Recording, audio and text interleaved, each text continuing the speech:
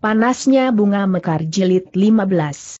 Karena itu, maka para pemimpin kelompok itu pun segera memerintahkan pasukannya untuk meneliti pagar halaman barak yang rapat dan cukup tinggi itu. Mungkin ada kesengajaan para pengikut Raja Wali penakluk itu membuat pintu-pintu rahasia pada dinding barak yang dapat mereka masuki di malam hari untuk menjebak pasukan yang ada di dalamnya. Tetapi dinding barak yang rapat dan tinggi itu ternyata cukup kuat. Tidak ada lubang yang dapat dipergunakan untuk merayap masuk. Meskipun demikian, para prajurit dan pengawal itu pun selalu berhati-hati dan bersiap menghadapi segala kemungkinan. Karena mereka tidak bersiap dengan obor yang cukup banyak, maka para prajurit itu pun telah membuat perapian di beberapa bagian halaman barak itu, sekaligus untuk menerangi halaman di sekitar barak, di dalam lingkungan pagar. Mereka pun kemudian mengatur giliran untuk berjaga-jaga, agar mereka tidak mengalami nasib seburuk pasukan Raja Wali penakluk yang mengepung padepokan, justru. Mereka menjadi lengah karena mereka menganggap lawannya sama sekali tidak berdaya. Demikianlah, pasukan itu pun bermalam semalam di dalam lingkungan halaman barak itu Felapi mereka tidak mengalami sesuatu. Namun dengan demikian, jantung mereka telah dicengkam oleh perasaan kecewa yang sangat. Kita harus menemukan mereka geram Mahisa Bungalan. Karena itulah, ketika matahari terbit di keesokan harinya, maka Mahisa Bungalan pun telah menemui Witantra untuk membicarakan kemungkinan yang akan ditempuhnya. Jika kau ingin mencarinya ke mana kita akan pergi bertanya Witantra apakah kau akan membawa pasukanmu menjelajahi daerah yang tidak terbatas ini? Atau kita mencari bahan lebih dahulu sebelum pasukan kita bergerak? Jadi kita harus menunggu lagi bertanya Mahisa Bungalan. Bukan menunggu. Tetapi kita akan segera mulai. Bukankah usaha menemukan satu tempat yang akan menjadi sasaran pasukan kita itu pun sudah satu permulaan? Apakah kau kira kau akan berhasil dengan iring-iringan pasukan ini mendaki tebing dan menuruni lereng-lereng jurang tanpa tujuan? Jadi menurut pertimbangan paman, kita akan kembali lagi kepada pokan itu bertanya Mahisa Bungalan. Ya, agar kita tahu apa yang harus kita lakukan Mahisa Bungalan tidak menjawab. Namun ia pun kemudian memanggil dua orang tawanannya. Dengan nada keras ya. Bertanya, apakah ia mengetahui, ke mana perginya seisi barak yang telah kosong itu. Tetapi jawabnya benar-benar masuk akal bukankah selama ini aku berada di padepokan itu? Tentu aku tidak mengetahui ke mana mereka pergi.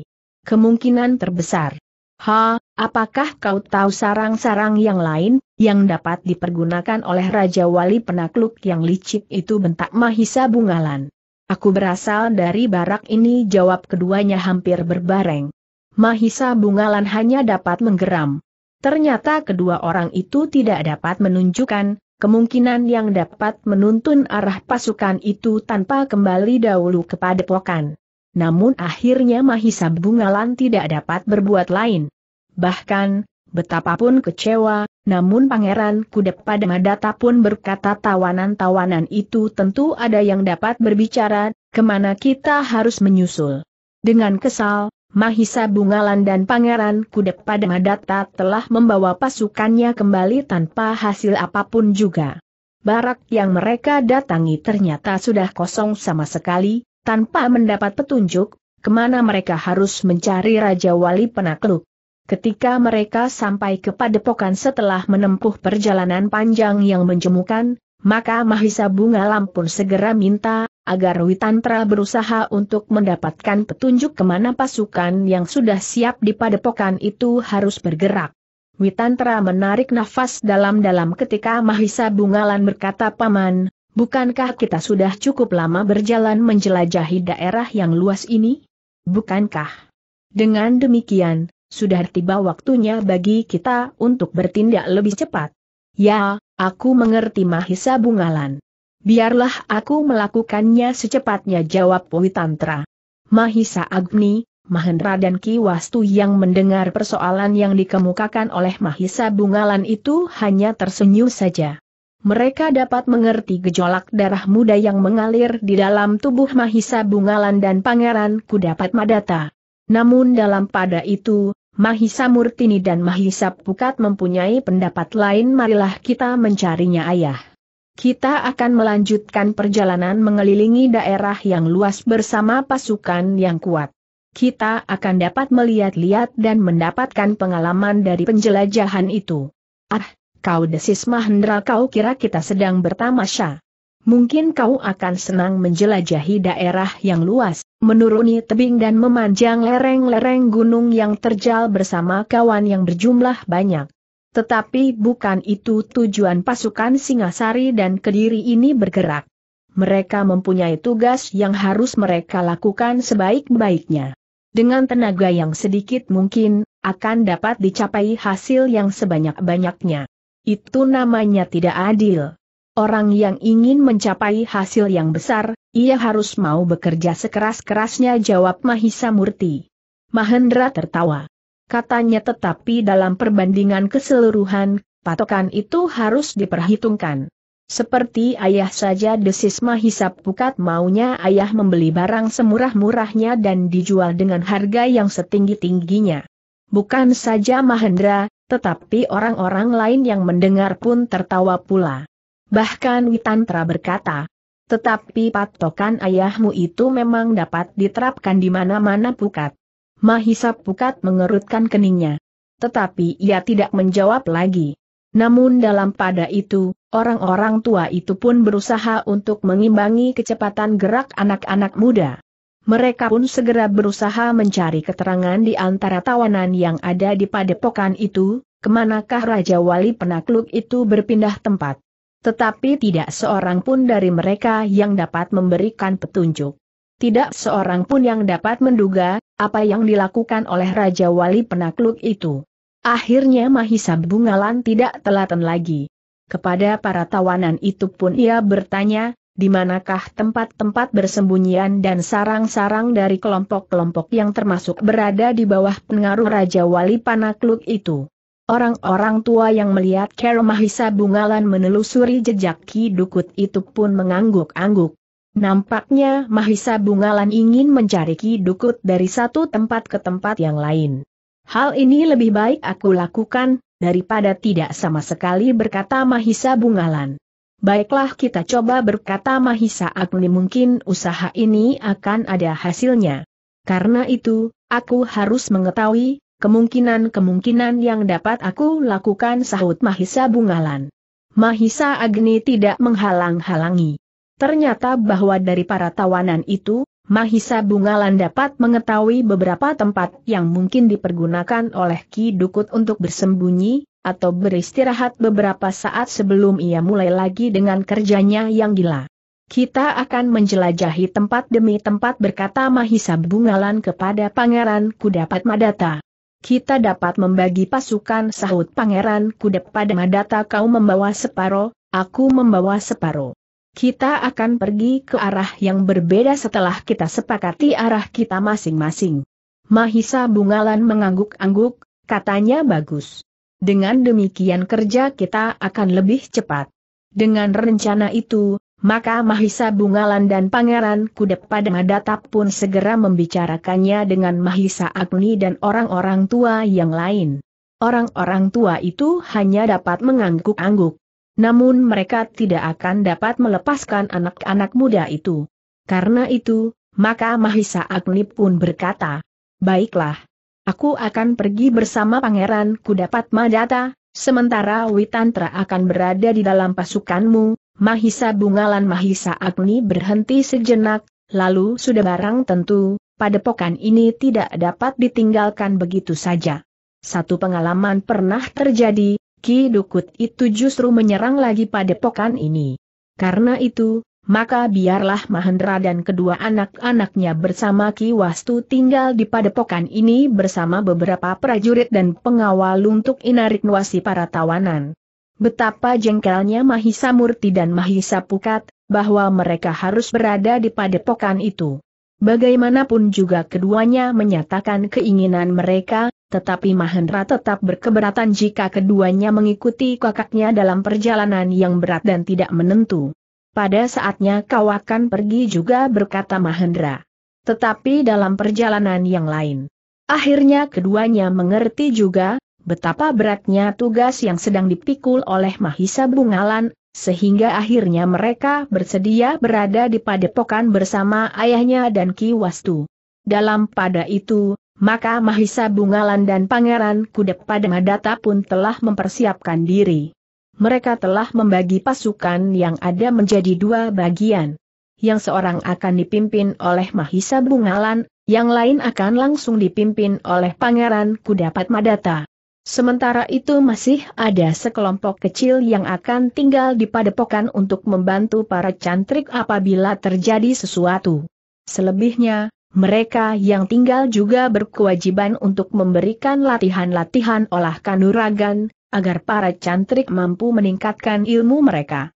Demikianlah, pada hari yang tertentu, dua kelompok pasukan itu pun berangkat dari padepokan kecil itu. Seperti yang direncanakan, maka Mahisa Agni akan menyertai Pangeran Kudapat Madata, sedangkan Witantra akan berada di dalam pasukan yang dipimpin oleh Mahisa Bungalan.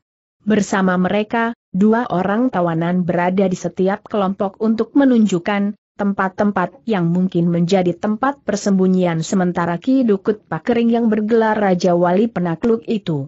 Dari para tawanan itu Mahisa Bungalan dan Pangeran Kudep Padamadatta mendapat beberapa petunjuk, bahwa Ki Dukut yang menyebut dirinya Raja Wali Penakluk itu mempunyai beberapa gerombolan pengikut yang semula saling terpisah. Karena itu maka mungkin sekulik Ki Dukut berada di antara pengikut-pengikutnya itu. Kita harus mendatangi sarang mereka satu demi satu berkata Mahisa Bungalan kepada tawanan yang menyertainya. Namun dalam pada itu, Pangeran Kudep Padamadata pun berniat demikian.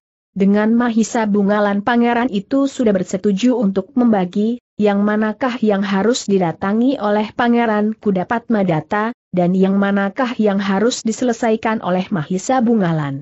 Dengan demikian maka perjalanan kelompok-kelompok itu adalah perjalanan yang cukup berat. Mereka harus menyusup hutan, menuruni jurang dan mendaki lereng bukit-bukit. Sarang gerombolan itu terpencar, dan pada umumnya berada di tempat yang sulit untuk didatangi. Namun, sudah menjadi tekad Mahisa Bungalan dan Pangeran Kudapat Madata, bahwa perburuan itu harus lebih mengarah. Bukan sekedar menjelajahi padepokan demi padepokan tanpa berbuat apa-apa. Seakan-akan hanya sekedar menunggu kesempatan, serta menunggu satu kemungkinan dari berpuluh-puluh kemungkinan yang lain, bahwa mereka akan bertemu dengan Ki Dukut di satu tempat. Mahisa Agni, Witantra, Mahendra dan Ki Wastu harus mengikuti cara berpikir anak-anak muda itu.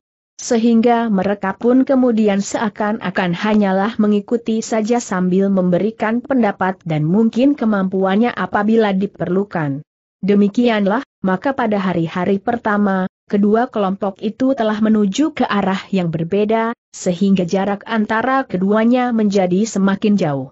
Mahisa Bungalan dan pasukannya, yang disertai oleh Witantra menuju ke daerah yang berbukit-bukit, sementara Pangeran Kuda Padamadata yang diikuti oleh Mahisa Agni serta pasukannya, menusuk masuk ke dalam kepekatan hutan. Dari para tawanan mereka mendapat petunjuk, bahwa sebagian dari sarang gerombolan yang berada di bawah pengaruh Ki Dukut itu ada di antara bukit-bukit dan terpencar di seberangnya, sementara yang lain bersembunyi di hutan-hutan dan lembah-lembah di balik hutan itu. Tetapi tidak seorang pun dari para tawanan yang mengetahui keadaan Ki Dukut yang sebenarnya. Mereka pun tidak tahu apa yang dilakukan oleh pengikut-pengikutnya yang terlepas dari tangan para prajurit dan pengawal. Mereka tidak mengetahui bahwa Ki Dukut yang bergelar Raja Wai penakluk itu tiba-tiba saja sudah hilang dari antara pengikutnya. Sementara sarang yang telah kosong itu telah ditinggalkan oleh penghuninya, atas pesan Ki Dukut ke tempat yang lebih tersembunyi lagi. Karena itu, baik Mahisa Bungalan maupun Pangeran Kudep Padamadata telah dibawa oleh tawanan-tawanan yang berada di antara mereka menuju ke tempat yang sudah mereka kenal. Sebenarnya lah, Sepeninggal Ki Dukut, setiap kelompok penjahat itu seakan-akan telah saling memisahkan diri. Mereka seakan-akan tidak lagi merasa terikat yang satu dengan lain seperti sebelum Ki Dukut yang mereka kenal dengan gelar Raja Wali Penakluk itu berada di antara mereka. Hanya bekas-bekas pengaruh Ki Dukut yang mengikat mereka sajalah yang kadang-kadang masih terlintas di dalam angan-angan mereka. Bila orang itu datang, biarlah kami menjalankan perintahnya. Jika tidak, kami tidak mempunyai keterikatan dengan kelompok-kelompok lain berkata hampir setiap pemimpin kelompok yang telah mengangkat diri mereka kembali. Dengan demikian, maka mereka telah terjun kembali ke dalam kehidupan mereka seperti sedia kala. Mereka berada di jalan-jalan sunyi. Menelusuri bulak-bulak panjang di malam hari, dan bahkan kadang-kadang memasuki padukuhan-padukuhan dan selanjutnya memilih rumah-rumah yang paling besar dan mempunyai kemungkinan menyimpan benda-benda berharga. Demikianlah mereka telah kembali ke dalam kehidupan meraba sebagai perampok dan penyamun sepenuhnya tanpa pegangan dan arah sama sekali. Dalam pada itu, maka tawanan yang berada di dalam pasukan Mahisa Bungalan telah membawa pasukan itu untuk pertama kali ke sarang sekelompok penjahat yang dianggapnya paling baik. Kelompok yang pertama berhubungan dengan Ki Dukut yang bergelar Raja Wali Penakluk itu.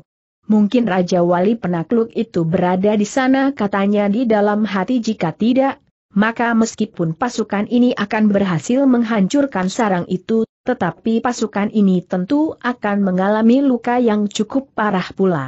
Jika kemudian aku membawa ke tempat Yarik terhitung kuat, maka keadaannya tentu semakin buruk, sehingga akhirnya akan menjerumuskan pasukan ini ke dalam lingkungan yang tidak akan memberinya kesempatan untuk meninggal. Kan tempat itu. Sarang kelompokku sendiri yang aku kenal baik-baik. Demikianlah, maka setelah menempuh perjalanan yang panjang dan beristirahat semalam di lereng sebuah bukit berbatu padas, maka pasukan itu pun mendekati sarang kelompok yang akan mereka datangi pertama kali. Kau jangan menipu kami berkata Mahisa Bungalan kepada kedua orang itu kami akan menghancurkan kepala kalian. Aku hanya menunjukkan. Aku tidak tahu lagi, apakah isi padepokan itu. Apakah Raja Wali Penakluk ada di situ atau tidak atau kemungkinan-kemungkinan lain pada perkembangan terakhir. Mahisa Bungalan menggeram. Namun kemudian katanya sebut, dari mana arah yang sebaiknya kami mendekati barak itu? Barak itu menghadap ke tangga yang mendaki lereng bukit ini. Tetapi di samping beberapa gubuk, terdapat pula sebuah goa yang dalam dan luas. Aku juga tidak tahu, siapakah yang memimpin kelompok ini sekarang desis tawanan itu. Mahisa Bungalan termangu-mangu sejenak. Namun kemudian ia pun minta pertimbangan Witantra, apakah yang sebaiknya dilakukannya. Jika kau sudah siap, maka sebaiknya kita mendekati barak itu berkata Witantra awasi setiap lubang yang mungkin dapat dijadikan jalan untuk melepaskan diri. Besok pagi-pagi kita akan menyergap. Kau harus memberikan kesempatan kepada orang-orangmu untuk beristirahat.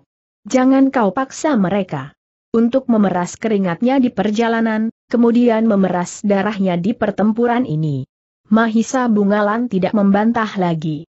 Ia pun kemudian memerintahkan pasukannya dengan diam-diam mengepung barak dan goa di hadapan mereka. Tetapi mereka harus sangat berhati-hati, agar penghuni barak itu tidak mengetahuinya.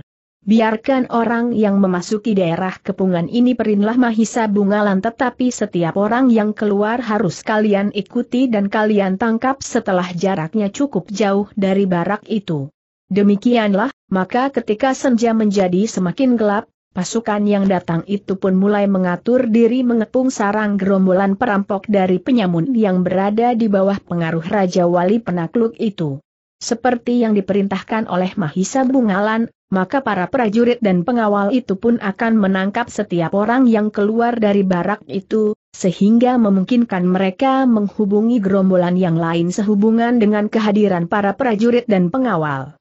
Tetapi ternyata bahwa kehadiran mereka diketahui oleh penghuni barak itu.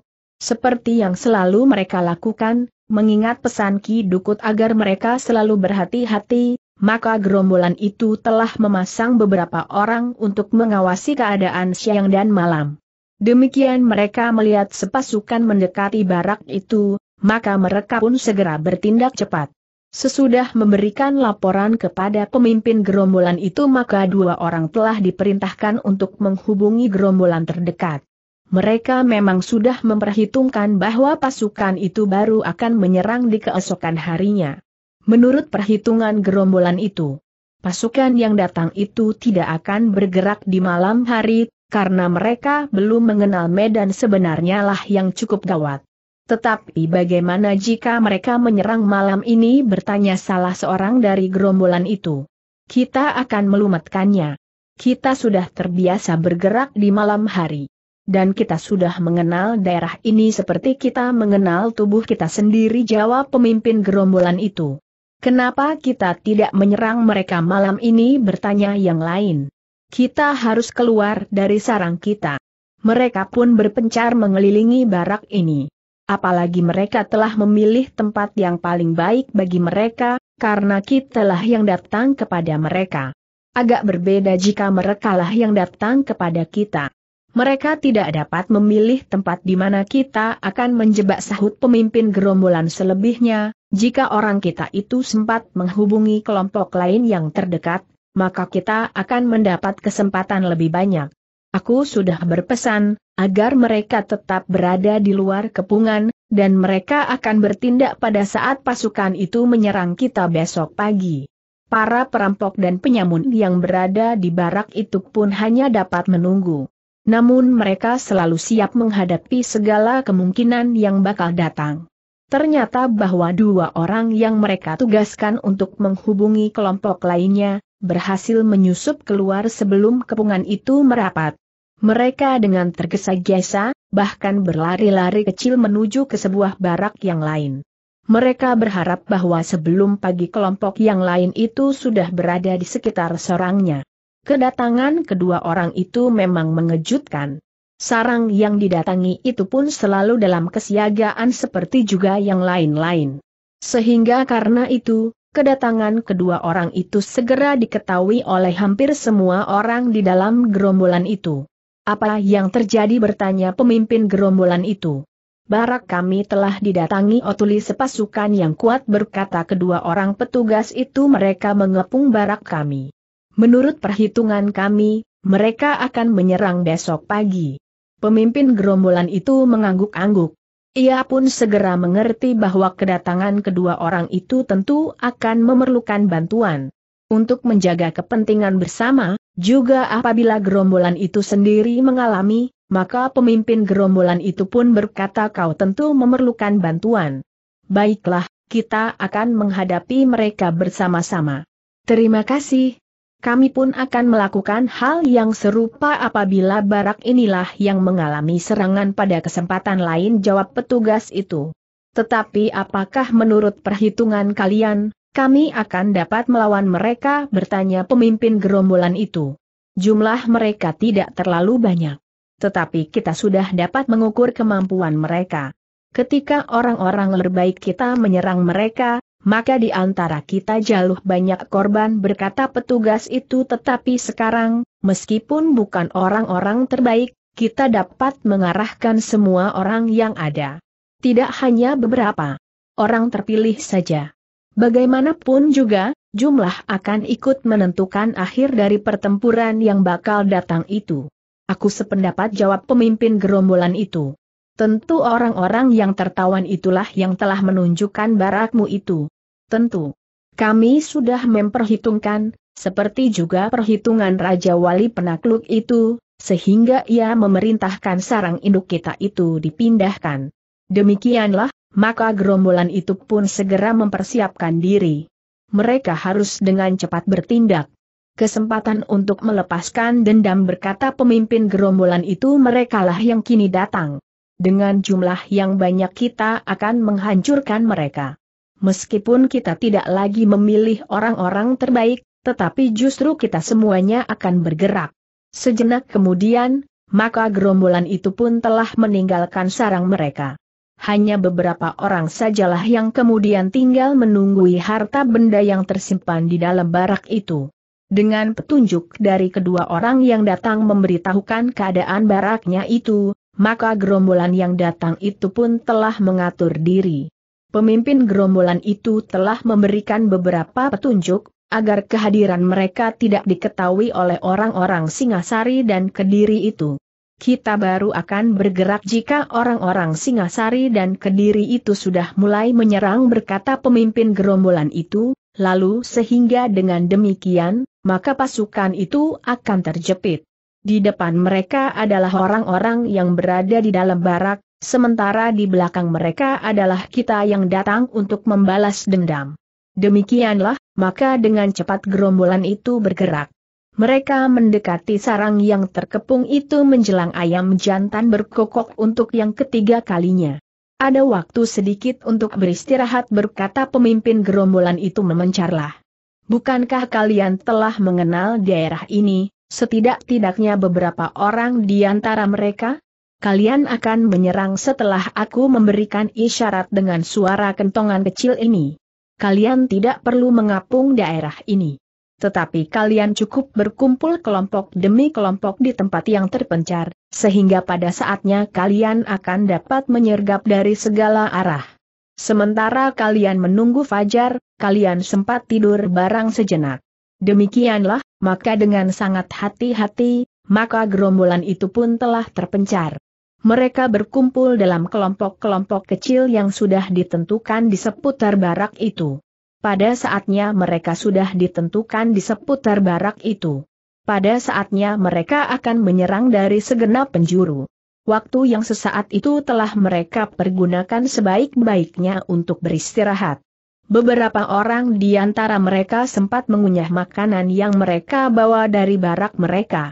Yang lain langsung tertidur tetapi kawannya segera membangunkannya sambil berdesis jangan mendengkur. Suaramu seperti babi hutan. Jika orang-orang Singasari dan Kediri itu mendengar, maka mereka akan datang menangkapmu. Apa aku mendengkur ia bertanya. Keras sekali jawab kawannya. Aku tidak merasa jawabnya. Dan kau tentu tidak mendengarnya pula sahut kawannya yang lain. Orang itu terdiam tetapi ia pun kemudian tidur sambil memiringkan kepalanya, agar tidak mendengkur lagi.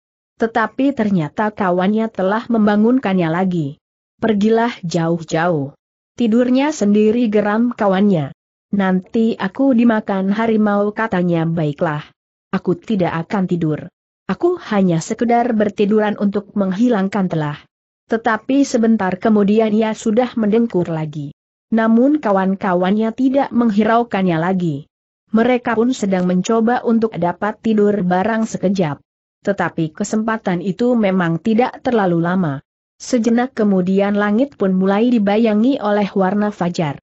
Dalam pada itu, maka para prajurit dan pengawal yang mengepung barak itu pun telah bersiap-siap untuk melakukan tugas mereka. Barak itu akan segera mereka serang dari segala arah mereka masih mempunyai harapan bahwa mereka akan dapat menemukan Raja Wali Penakluk atau setidak-tidaknya mendapat keterangan tentang dirinya. Ingat berkata Mahisa Bungalan kepada pemimpin-pemimpin kelompok yang dikumpulkannya menjelang pagi kami bukan datang untuk membunuh. Tetapi tugas kami adalah memburu orang yang bernama Ki Dukul dan bergelar Raja Wali Penakluk itu. Meskipun Purumpok dan Penyamun tidak dibenarkan adanya, tetatamai di telatah Kediri dan Singasari, namun cara kita menghadapi mereka berbeda dengan apa yang harus kita lakukan terhadap Ki Dukut Pakering. Para pemimpin kelompok itu mengerti apa yang dimaksudkan oleh Mahisa Bungalan. Karena itu maka mereka pun mengangguk dan siap menyampaikan perintah itu kepada anak buah mereka. Kalian akan mendengar suara panah sendaren. Kami di sini akan melepaskan panah itu ke segenap arah. Suara sendaran yang kalian dengar adalah perintah, bahwa kalian harus segera menyerang berkata Mahisa Bungalan kemudian. Demikianlah maka para pemimpin kelompok itu pun segera kembali ke tempat masing-masing dan segera menyampaikan pesan itu pula kepada anak buahnya. Sementara itu, di dalam barak itu pun telah terjadi kesibukan. Orang-orang di dalam barak itu menjadi berdebar-debar pula kedua orang yang ditugaskannya mencari hubungan dengan gerombolan terdekat tidak kembali lagi kepada mereka. Keduanya tentu mempunyai perhitungan tersendiri berkata pemimpin gerombolan itu mereka tidak akan berani menembus kepungan. Jika mereka tertangkap, maka rahasia hubungan mereka dengan kawan kita di luar barak ini akan terungkap. Bagaimana jika mereka tertangkap ketika mereka berangkat bertanya seseorang? Memang mungkin. Karena itu, kita harus bersiaga sebaik-baiknya. Mungkin kita memang harus bertempur tanpa bantuan pihak yang lain jawab pemimpin gerombolan itu sementara kita belum tahu pasti seberapa besar kekuatan lawan. Tetapi kita yakin bahwa kita akan dapat mempertahankan diri. Dan kita pun yakin bahwa orang itu akan dapat menghubungi kawan kita. Mereka akan datang membantu kita dengan care yang kita pesankan. Namun demikian, pemimpin gerombolan itu pun telah memerintahkan orang-orangnya untuk mempergunakan segala care yang dapat mereka lakukan tanpa mengharap bantuan pihak lain. Jumlah kita cukup banyak gramnya. Beberapa orang di antaranya mereka telah siap dengan budur dan batu besar yang dapat mereka lontarkan pada lereng-lereng yang mungkin akan dipanjat oleh para prajurit dan pengawal. Juga di hadapan tangga yang menjadi jalan induk memasuki sarang mereka. Sementara yang lain telah menyiapkan lembing-lembing bambu yang ujungnya diberi sekeping besi. Lembing-lembing itu akan dapat mereka lontarkan kepada lawan yang akan mendaki bukit. Dengan senjata-senjata itu, mereka telah menghadap ke segala arah yang mungkin akan ditempuh oleh para prajurit dan pengawal. Meskipun satu sisi dari barak itu agaknya terlalu sulit untuk ditempuh, namun mereka telah menempatkan beberapa orang untuk mengawasinya juga. Mungkin sekali para prajurit dan pengawal itu justru mengambil arah yang dianggapnya terlalu sulit itu, sehingga mereka dapat menyergap tanpa mendapat perlawanan yang berarti. Tetapi prajurit dan pengawal yang dipimpin oleh Mahisa Bungalan itu tidak mempergunakan jalan yang terlalu sulit itu. Kepungannya pada bagian yang sulit itu pun tidak terlalu rapat, karena mereka menganggap, jalan itu tidak akan mungkin dilakukan. Dengan hati yang berdebar-debar, setiap orang telah menunggu langit menjadi terang. Para prajurit dan pengawal, orang-orang yang berada di dalam kepungan dan gerombolan yang datang untuk membantu. Dengan demikian, maka rasa-rasanya tempat itu justru menjadi semakin sepi. Orang-orang yang ada di sekitar tempat itu telah menahan nafas masing-masing dengan tangan di hulu senjata. Sementara yang lain telah siap untuk melontarkan senjata-senjata mereka, sementara orang lain menggenggam tangkai ketongan dengan eratnya sedangkan tangannya yang lain menggenggam pemukulnya. Tiba-tiba kesenyapan pagi itu telah dikoyak oleh lengking panas sendaren. Beberapa panas sendaren telah berterbangan ke segala arah, seolah-olah gaung suara burung aneh yang memenuhi langit yang masih buram. Pada saat itulah pasukan Mahisa Bungalan mulai bergerak. Mereka pun menyadari kemungkinan-kemungkinan yang dapat terjadi pada saat mereka mendekati barak. Karena itulah, maka pasukan yang paling kuat adalah justru pasukan yang datang dari arah sayap. Meskipun mereka menempuh jalan yang agak sulit, tetapi mereka mendaki tebing tidak tepat di hadapan barak yang menjadi sasaran serangan mereka, sehingga mereka tidak akan mendapat hambatan langsung dari orang-orang di dalam barak itu. Tetapi satu hal yang tidak diperhitungkan oleh Mahisa Bungalan adalah, kedatangan orang-orang dari gerombolan lain yang akan menyerang mereka dari belakang. Perlahan-lahan pasukan Mahisa Bungalan itu bergerak maju. Hal-hal yang akan terjadi telah diduga sebelumnya. Demikian pasukan induk itu mendekati tangga, maka orang-orang di dalam gerombolan itu telah siap melontarkan batu-batu yang besar untuk menghambat lawan mereka, sementara yang lain akan melemparkan lembing-lembing bambu yang ujungnya diberi kepingan-kepingan besi tajam. Tetapi para prajurit dan pengawal itu pun cukup mempunyai pengalaman. Karena itu, maka mereka yang dihadapkan langsung pada jalan induk itu adalah prajurit-prajurit dan pengawal pilih yang mampu mengatasi kesulitan yang bakal mereka hadapi dengan perlengkapan khusus mereka adalah prajurit-prajurit yang bersenjata pedang dan perisai. Demikian prajurit-prajurit pengawal yang melalui jalan di hadapan sarang mereka itu mulai mendaki, di antaranya lewat tangga yang memang sudah ada di situ, maka batu-batu besar itu pun mulai dilontarkan, diiringi dengan lemparan lembing dan anak panah. Bebatuan dan senjata-senjata itu memang dapat menahan pasukan Mahisa Bungalan. Mereka tidak segera dapat memanjat. Sebagian dari mereka berusaha untuk mendaki di sebelah menyebelah, tetapi batu-batu itu pun meluncur dengan derasnya diiringi dengan lontaran lembing dan anak panah. Namun agaknya para prajurit dan pengawal itu tidak menjadi gelisah. Hal itu memang sudah diperhitungkan. Pasukan yang datang dari sayap harus mendahului menghimpit gerombolan itu, sehingga sebagian dari mereka akan ditarik ke daerah benturan yang terjadi itu. Sebenarnya lah bahwa sebagian sayap pasukan Mahisa Bungalan telah berhasil mendaki tebing. Mereka pun segera merayap mendekati sarang gerombolan itu dari samping. Dengan demikian, maka pertempuran yang berkobar lebih dahulu justru sayap pasukan Mahisa Bungalan. Pasukan itu seolah-olah telah datang menghimpit dari sebelah menyebelah. Kekuatan pasukan Mahisa Bungalan ternyata sangat mengejutkan. Jumlah mereka memang tidak sebanyak orang-orang yang ada di sarang itu. Tetapi kemampuan mereka ternyata jauh melampaui kemampuan orang-orang yang berada di gerombolan itu.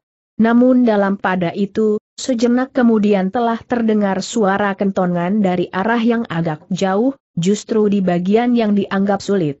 Suara kentongan yang memberikan aba-aba kepada gerombolan yang akan datang membantu gerombolan yang telah diserang oleh pasukan Mahisa Bungalan itu. Tetapi sebenarnya lah, yang berada di tempat itu hanyalah beberapa orang saja yang bertugas membunyikan isyarat itu. Sementara itu, pasukan yang sebenarnya telah memencar dari segenap arah, seperti pasukan Mahisa Bungalan.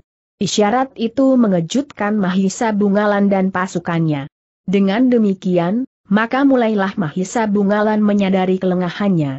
Batu dan lembing yang dilontarkan dari atas tebing tidak mengejutkan pasukannya.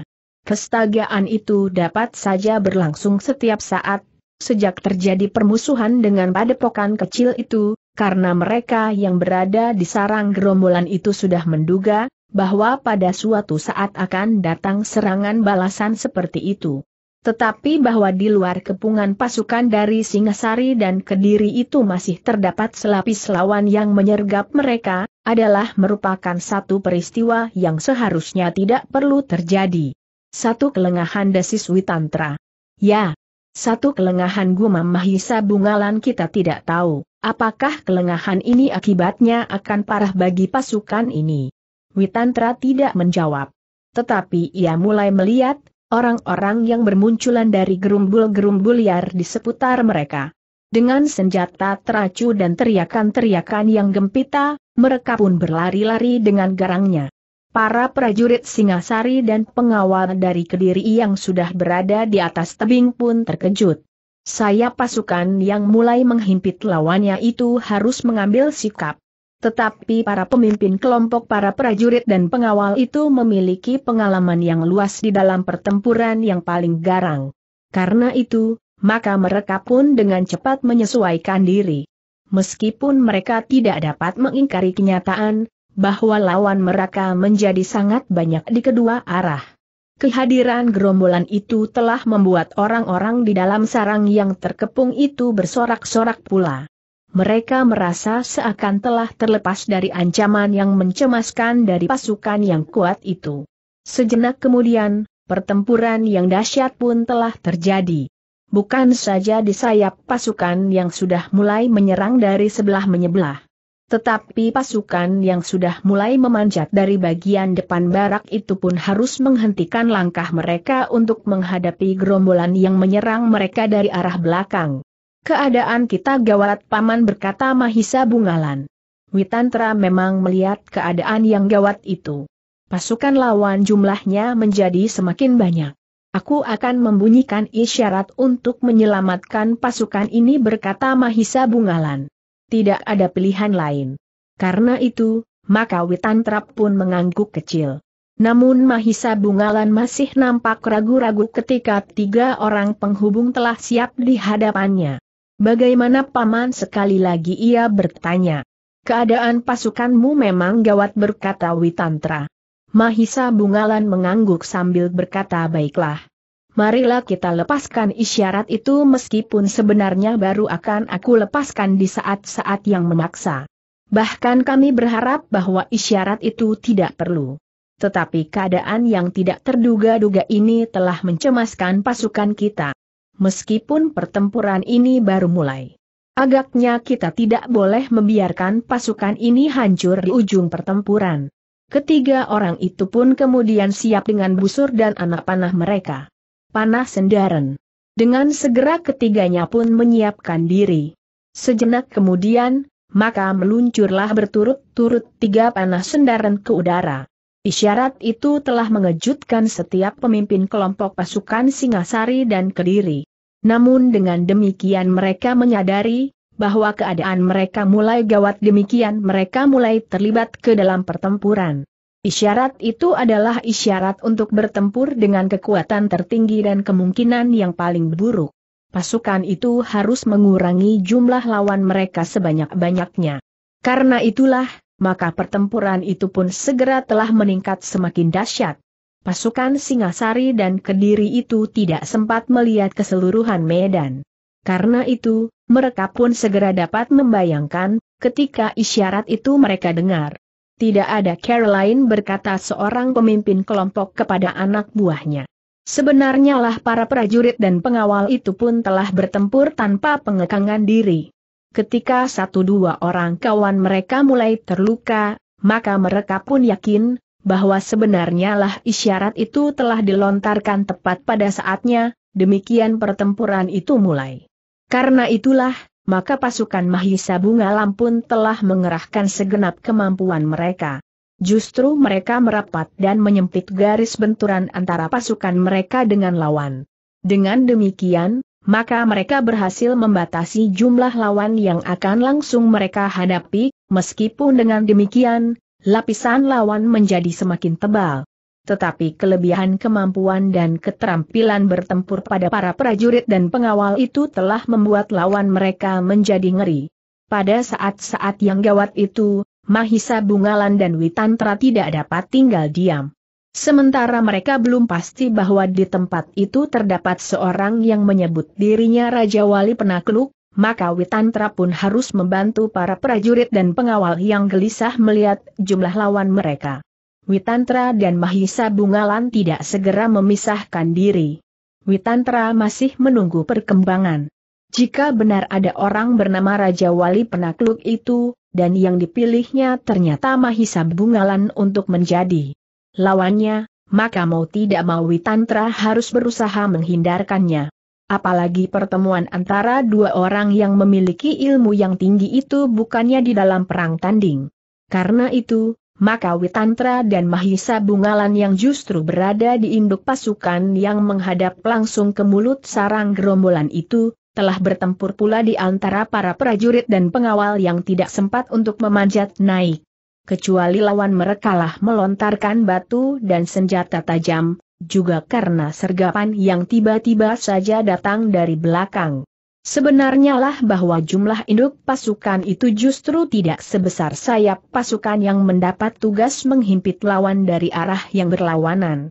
Menurut perhitungan, memang sayap itulah yang akan membenturkan kekuatannya lebih dahulu karena mereka tentu tidak akan mendapat hambatan yang sangat besar di saat-saat mereka memanjat tebing untuk mencapai ketinggian lawan mereka kehadiran Witantra dan Mahisa Bungalan langsung di medan pertempuran itu telah mengejutkan lawan mereka, justru karena keduanya nampaknya tidak berdebar dengan orang-orang lain dalam pasukannya, dan senjata mereka pun tidak lebih dari sebilah pedang seperti yang dipergunakan oleh orang-orang lain di dalam pasukan itu.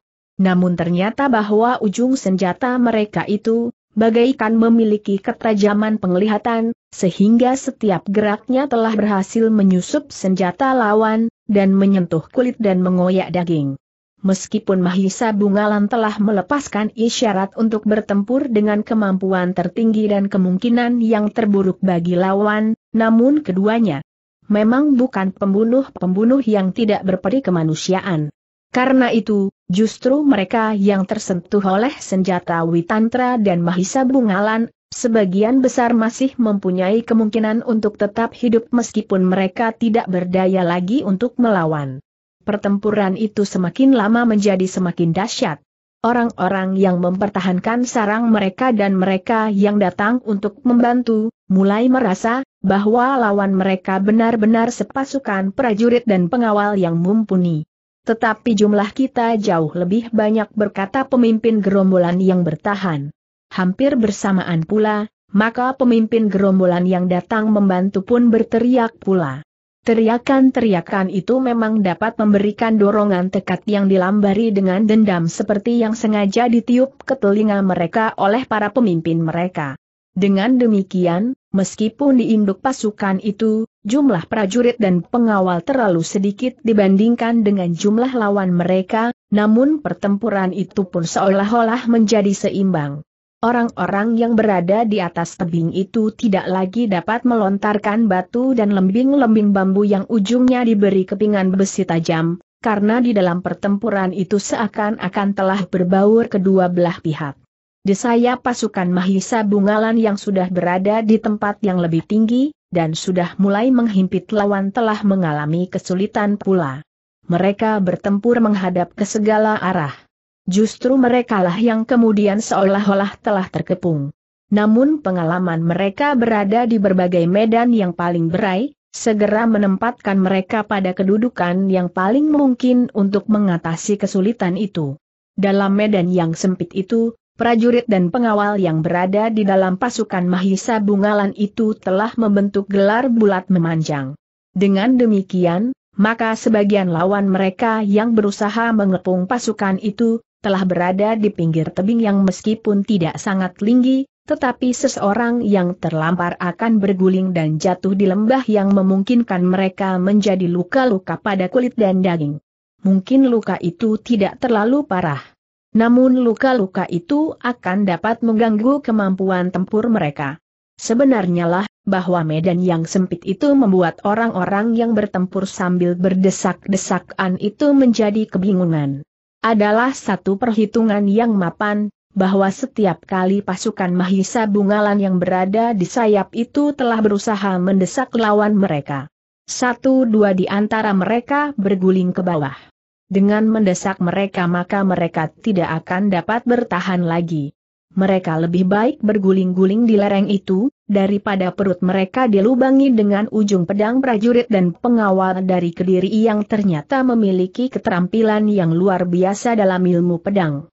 Namun serangan gerombolan itu bagaikan gelombang yang menghempas pantai.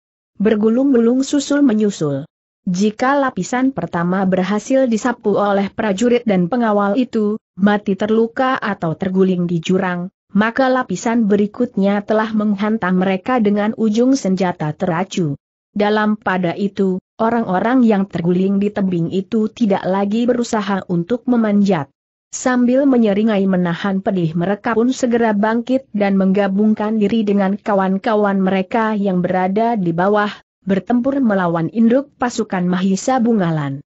Mereka menganggap bahwa lawan terlalu sedikit di induk pasukan itu, sehingga mereka akan dengan mudah dapat segera menumpas mereka sampai orang terakhir. Tetapi demikian mereka mendekat, maka mereka mulai melihat satu kenyataan yang sama sekali lain dengan yang mereka duga. Meskipun jumlah mereka tidak terlalu banyak, namun kawan-kawan gerombolan yang sudah berada di hadapan pasukan yang sedikit itu sama sekali tidak berhasil mendesak maju.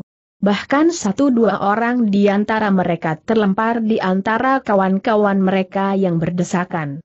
Yang lain merangkak sambil mengerang. Sementara yang lain lagi terkapar tidak bergerak. Luar biasa desis salah seorang dari mereka tentu ada di antara mereka yang memiliki ilmu iblis. Dalam pada itu, maka dua orang di antara mereka yang datang menyerang itu benar-benar mendebarkan jantung. Ternyata bukan saja Raja Wali penakluk yang mampu berbuat sesuatu di luar nalar mereka. Para prajurit dan pengawal sudah membuat mereka berdebar-debar. Apalagi kedua orang itu. Mereka mampu berbuat sesuatu seperti yang pernah diperlihatkan oleh Raja Wali penakluk itu. Karena itulah, maka kedua orang itu benar-benar menjadi hantu di medan pertempuran yang semakin dahsyat itu. keduanya benar-benar mampu menyapu lawan yang mengepung mereka. Meskipun luka-luka senjata yang tergores di tubuh lawannya, bukan goresan dan tikaman yang membunuh, namun mereka benar-benar telah berhasil melumpuhkan lawan yang tidak terhitung jumlahnya. Jika di antara mereka ternyata ada satu dua orang yang terbunuh, agaknya bukan itulah tujuan mereka. Tetapi sebenarnya lah bahwa Witantra dan Mahisa Bungalan tidak akan dapat menghindarkan diri dari pembunuhan. Lawan demikian banyak yard datang dari segala arah. Karena itu, maka kadang-kadang yang terjadi tidak lagi dapat dihindarinya. Dalam pada itu, pertempuran di sebelah menyebelah, masih berlangsung dengan sengitnya pula. Pasukan induk yang jumlahnya tidak begitu banyak itu harus bertempur dengan segenap kemampuan mereka. Tetapi pada umumnya mereka adalah orang-orang terpilih yang bersenjata pedang dan perisai sehingga orang-orang dari gerombolan yang datang membantu dan menyerang pasukan induk itu dari arah belakang, terkejut karenanya, karena seolah-olah mereka telah membentur kekuatan yang tidak akan tertembus. Dengan demikian maka pertempuran itu semakin lama menjadi semakin sengit.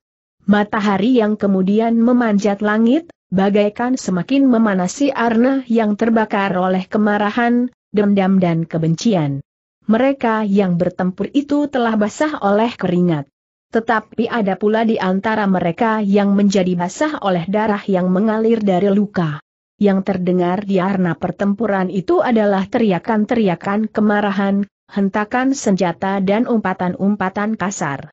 Namun kadang-kadang juga lengking kesakitan dan kejutan dari mereka yang tergelincir ke dalam jurang. Orang-orang yang berada di dalam sarang gerombolan itu pun sudah seluruhnya ikut melibatkan diri. Mereka yang semula melemparkan batu dan lembing, telah berlari-lari menuruni tebing dan melibatkan diri melawan pasukan induk Mahisa Bungalan, sehingga seperti pasukan yang berada di sayap, mereka berhadapan dengan lawan yang datang dari arah yang berlawanan. Namun kekuatan yang turun dari barak itu pun telah membentur kekuatan yang seakan-akan tidak tergoyahkan. Mereka membentur prajurit dan pengawal terpercaya yang bersenjata pedang dan perisai. Bagi para prajurit, maka adalah kebetulan sekali bahwa lawan mereka lah yang justru menuruni tebing. Karena itu maka mereka tidak perlu lagi memanjat, menghadapi hujan batu, lembing dan anak panah. Sementara itu, di sayap pasukan Mahisa Bungalan, pertempuran pun berlangsung dengan garangnya. Masing-masing pihak telah mengerahkan segenap kemampuan. Para prajurit dan pengawal yang sudah mendengar isyarat untuk bertempur dengan kemampuan tertinggi, tidak ragu-ragu lagi untuk mengayunkan senjata mereka, meskipun akan berakibat kematian bagi lawannya.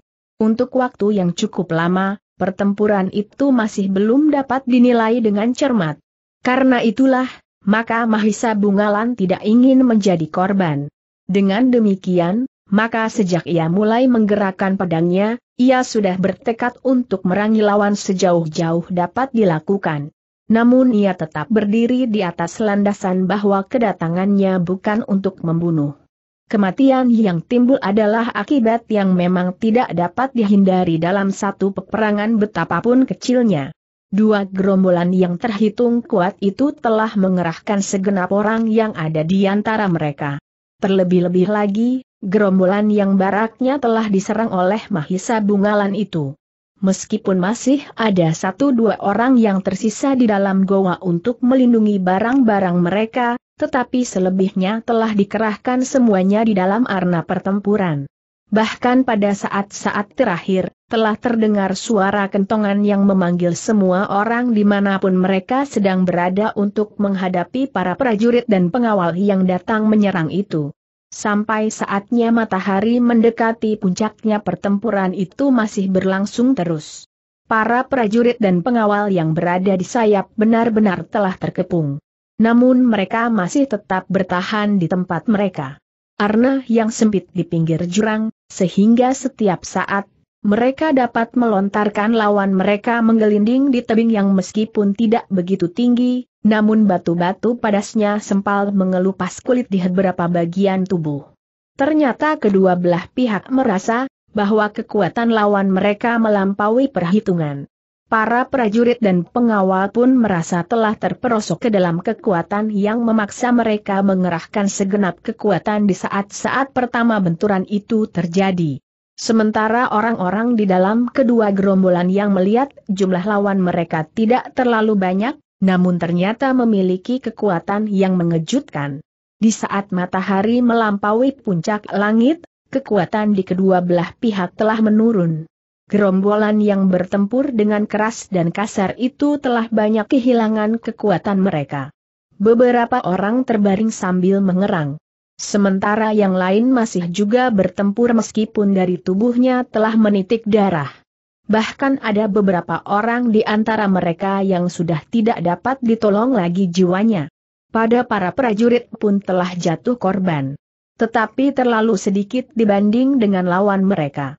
Para prajurit dan pengawal itu memiliki kemampuan pribadi dan kerjasama yang jauh lebih baik dari lawan mereka, meskipun jumlah mereka jauh lebih sedikit. Pada saat-saat yang demikian, maka Mahisa Bungalan dan Witantrap pun mengambil kesimpulan bahwa di sarang itu tentu tidak ada orang yang disebut Raja Wali Penakluk. Jika orang itu ada, ia tentu terjun ke Arna. Seandainya tidak diinduk pasukan, tentu berada di sayap pasukan. Mahisa Bungalan telah memberikan pesan, jika orang itu muncul di mana pun, maka agar para prajurit dan pengawal memberikan isyarat agar ia segera dapat mengambil tindakan sebelum orang itu menelan banyak korban. Tetapi isyarat itu belum terdengar. Karena itu, maka Witantra dan Mahisa Bungalan pun mengambil kesimpulan, bahwa orang itu tidak ada di barak itu. Dengan demikian, maka keduanya berusaha untuk segera mengakhiri pertempuran. Tetapi tidak mudah untuk melakukannya. Kedua belah pihak telah terlibat terlalu jauh dalam perang berubuh. Ketika Witantra kemudian mendekati Mahisa Bungalan, maka katanya aku akan mencoba untuk mencegah jatuhnya korban lebih banyak lagi. Apa yang akan Paman lakukan bertanya Mahisa Bungalan. Menemui pemimpin perampok ini jawab Witantra. Menurut pengamatanku, ada dua gerombolan yang kita hadapi.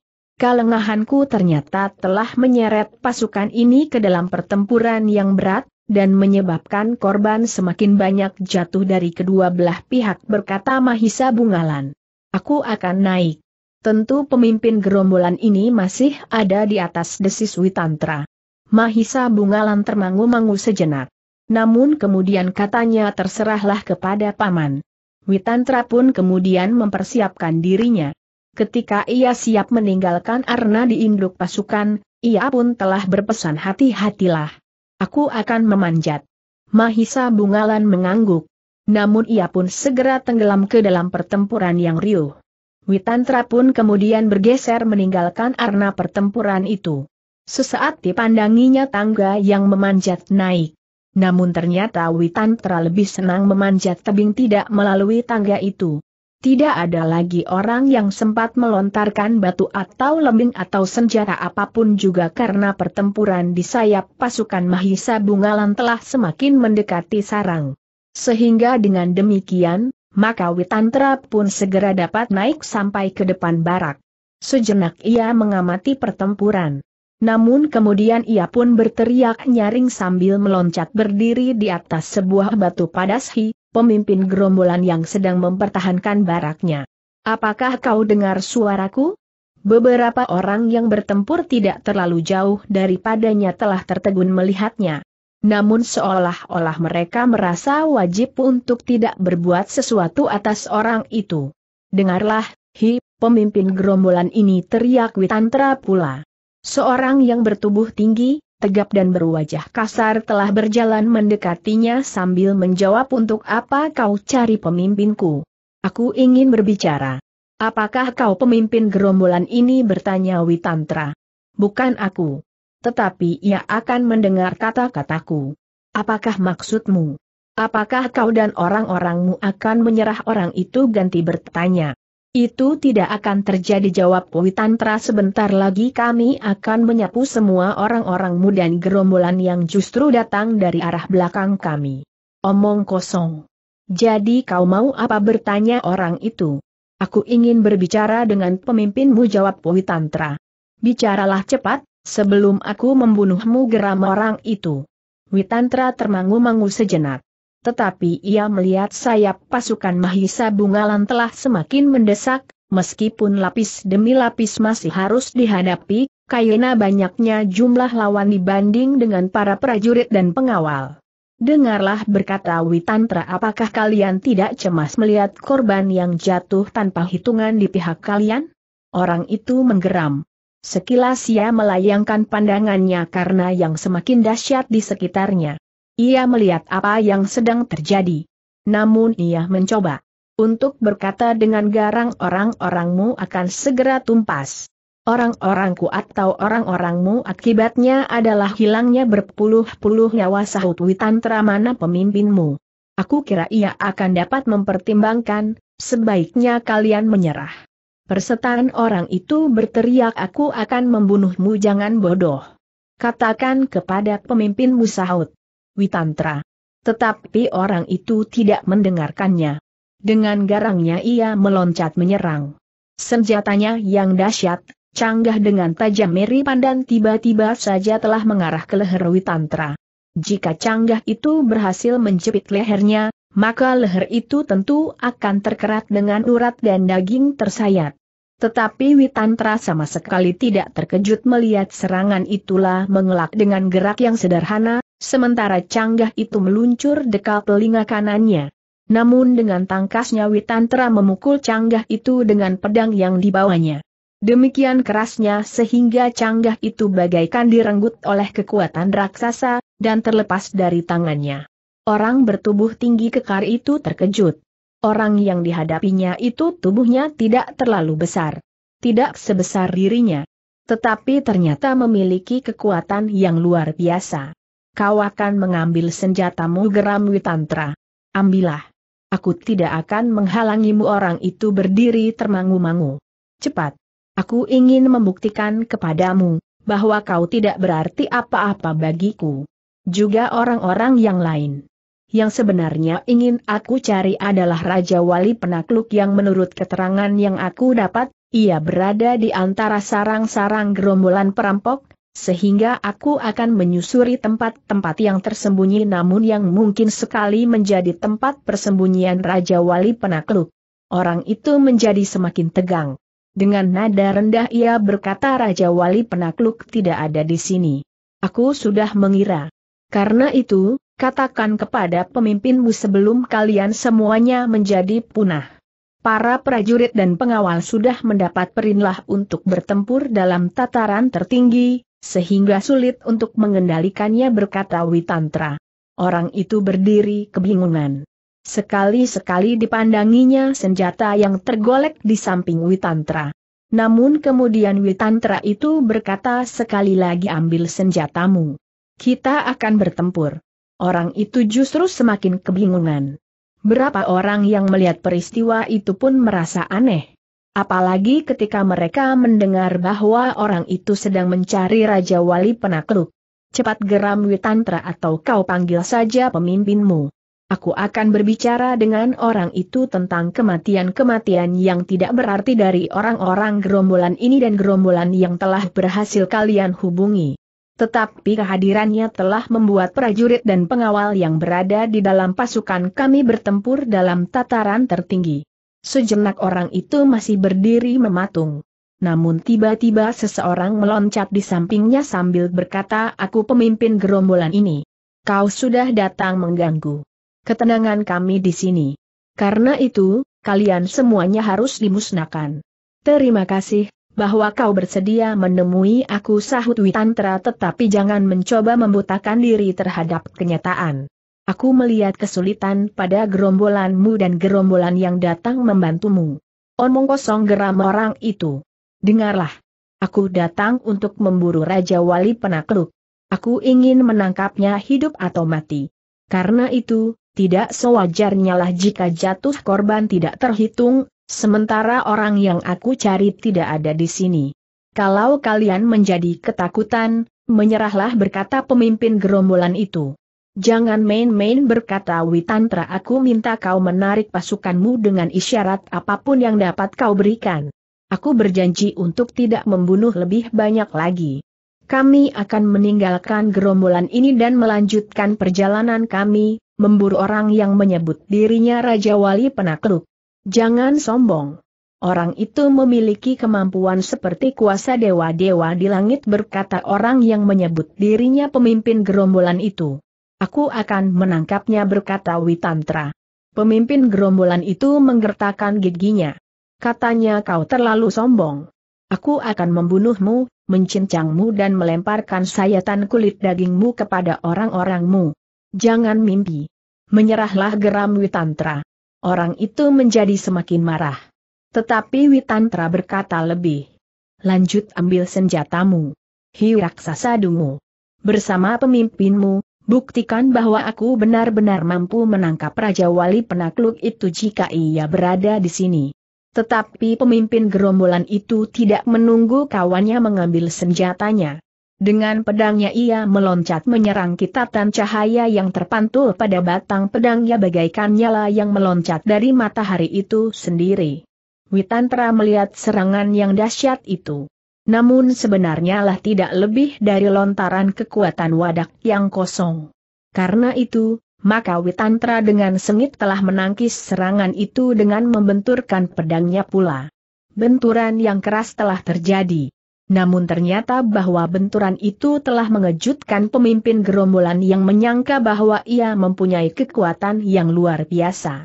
Dalam pada itu, demikian kerasnya benturan itu terjadi, sementara Witantra dengan sengaja ingin menunjukkan bahwa ia benar-benar ingin menangkap Raja Wali penakluk, maka pedang di tangan pemimpin gerombolan itu tidak dapat diselamatkan lagi. Bukan saja senjata itu terlepas dari tangannya, tetapi senjata itu telah terloncat beberapa langkah daripadanya. Sejenak pemimpin gerombolan itu termangu-mangu. Namun kemudian ia pun menyadari keadaannya. Dengan gigi gemeretak ia meloncat beberapa langkah surut. Sambil mengumpat ia menyambar pedang seorang gerombolan yang berdiri kehingungan melihat pedang pemimpinnya yang terlempar beberapa langkah itu. Dengan pedang yang bergetar di tangannya orang itu melangkah mendekati Witantra lagi ia menggeram anak. Setan. Kau kira apa yang kau lakukan itu dapat menakut-nakuti aku hi? Cobalah jawab Witantra sebaiknya kau mencoba meyakini apa yang aku katakan panggil Raja Wali penakluk, atau jika ia tidak ada di sini, menyerah sajalah. Kami tidak akan berbuat apa-apa. Yang kami cari adalah Raja Wali penakluk itu. Pemimpin gerombolan itu tidak menghiraukannya. Langkah demi langkah ia maju. Pedangnya pun kemudian terjulur lurus ke depan. Tetapi Witantra pun seolah-olah tidak menghiraukannya. Bahkan ia pun kemudian memungut canggah yang tergolek di tanah. Sambil melemparkan canggah itu ia berkata kepada orang bertubuh tinggi tegap pakailah senjatamu. Bantu pemimpinmu. Aku memang ingin meyakinkan, bahwa perlawanan kalian akan sia-sia. Sambil menangkap senjatanya orang bertubuh tinggi tegap itu menggeram. Marilah. Kalian harus yakin bahwa kalian memang harus menyerah sebelum orang-orangmu tuntas habis desis Witantra. Kedua orang itu pun segera mempersiapkan diri. Seperti berjanji, maka keduanya pun kemudian mengambil arah yang berbeda. Bahkan dua orang yang lain pun telah mendekat pula. Mereka telah bersiap pula membantu pemimpinnya. Sementara itu di sekitar tempat itu pertempuran menjadi semakin seru. Saya pasukan Mahisa Bunga Lampun menjadi semakin mendekati barak. Mereka berusaha mendesak lawan mereka dari barak itu, sementara mereka pun berusaha menghalau serangan gerombolan yang datang membantu, sambil bergeser. Sebenarnya lah seperti YMG dikatakan oleh Witantra. Prajurit Singasari dan pengawal, dan Kediri telah bertempur tanpa pengekangan diri justru karena lawan mereka terlalu banyak. Namun dengan demikian, maka korban di antara gerombolan itu pun menjadi semakin banyak pula. Dalam pada itu, Orang-orang yang berada di sekitar Witantra pun telah siap menyerangnya. Namun Witantra pun telah siap sepenuhnya. Bahkan ia pun kemudian berkata marilah. Mulailah. hampir berbareng orang-orang itu pun menyerangnya. Namun betapa mereka terperanjat. Dengan satu ayunan, dua di antara senjata lawannya telah terlempar. Bahkan dengan ayunan berikutnya, maka sekali lagi pedang di tangan pemimpin gerombolan itu pun terlepas pula. Dengan putaran berikutnya, maka canggah yang mulai bergetar di tangan orang bertubuh tinggi tegap itu pun telah terlempar pula. Tetapi Witantra tidak berhenti, lah benar-benar ingin memaksa pemimpin gerombolan itu menyerah. Karena itu, maka tiba-tiba saja ujung pedangnya telah menyentuh pundak lawannya. Segores luka telah memerah pada kulitnya. Aku baru memberimu peringatan berkata Witantra. Jika aku bersungguh-sungguh, maka pundakmu akan patah. Pemimpin gerombolan yang kehilangan senjatanya itu meloncat mundur. Dirabanya pundaknya. Dan terasa di tangannya, darah telah menitik dari luka itu. Menyerahlah geram Witantra. Pemimpin gerombolan itu termangu-mangu. Aku memperingatkan sekali lagi. Jika kau tidak mendengarkan peringatanku ini, maka kami akan benar-benar mengambil sikap untuk mengakhiri pertempuran ini dengan memusnahkan kalian semuanya, karena di sini kita tidak menemukan Raja Wali penakluk. Pemimpin gerombolan itu berdiri tegak seperti patung.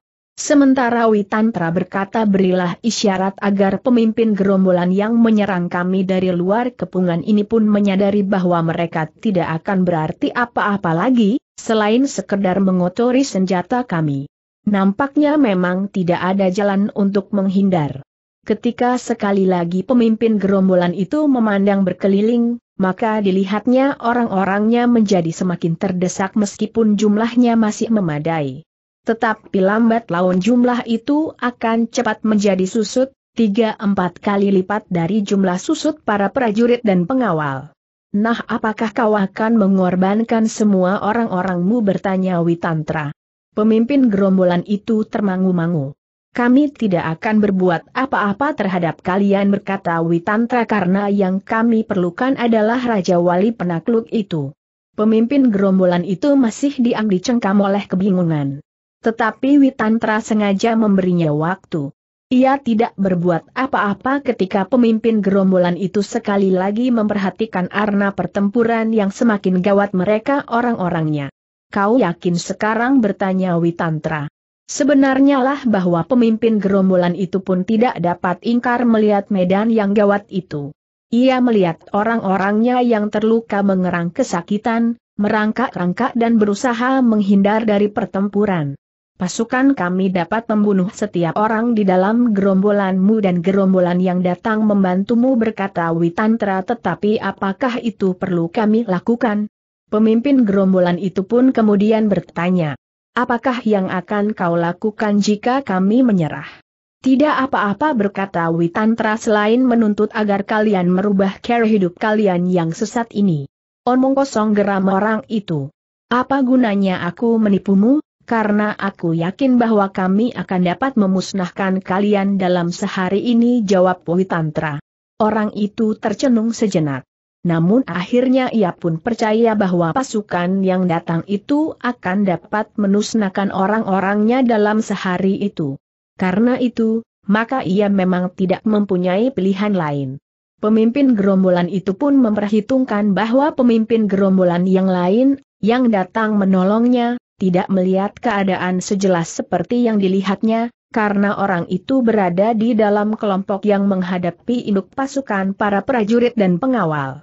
Tetapi sebenarnya lah bahwa pemimpin gerombolan itu pun mengetahui keadaan yang dihadapinya. Ternyata, bahwa induk pasukan lawan yang nampaknya hanya terdiri dari sejumlah kecil para jurid dan pengawal, namun ternyata mereka mempunyai kekuatan yang tidak diduganya. Namun demikian, karena ia tidak dapat melihat pertempuran itu dalam lingkup yang lebih luas, maka ia tidak dapat mengambil sikap. Sementara itu, pemimpin gerombolan yang tinggal di dalam barak yang didatangi oleh Mahisa Bungalan dan pasukannya itu tidak dapat ingkar lagi, bahwa pasukannya sendiri dan gerombolan yang datang untuk membantunya itu tidak dapat bertahan lebih lama. Karena itulah, maka ia pun kemudian berkata kepada pengawalnya yang paling dipercaya bunyikan isyarat. Isyarat apa pengawalnya bertanya. Bodoh kau. kita hentikan perlawanan berkata pemimpin gerombolan itu. Pengawal itu termangu-mangu sejenak. Namun kemudian ia bertanya apakah kita dapat mempercayainya? Aku percaya kepadanya jawab pemimpin gerombolan itu. Lalu terkutuklah jika ia berbohong. Aku berkata sebenarnya sahut Witantra jika kau berniat memenuhi permintaanku untuk menyerah, aku akan turun dan berada di pasukan induk untuk memberikan perintah, agar para prajurit dan pengawal pun menghentikan pertempuran. Kami akan menghentikan perlawanan berkata pemimpin gerombolan itu. Witantra kemudian meninggalkan tempat itu. Dengan tergesa-gesa ia pun menuruni lereng yang tidak terlalu dalam untuk menemui Mahisa Bungalan. Mereka akan menyerah berkata Witantra. Apakah mereka tidak akan menipu kita bertanya Mahisa Bungalan. Aku kira tidak jawab Witantra jika mereka dengan licik menjebak kita, maka kita tidak akan mengampuni setiap orang yang ada di dalam barak itu. Sejenak kemudian, ternyata mereka telah mendengar isyarat. Dengan kentongan pemimpin gerombolan itu memerintahkan orang-orangnya untuk menghentikan perlawanan. Sementara Mahisa Bunga Lampun telah menyiapkan isyarat pula dengan panah sendaren, agar para prajurit dan pengawal juga menghentikan pertempuran. Beberapa orang prajurit telah melepaskan anak panah ke udara berturut-turut pada jarak yang agak jarang.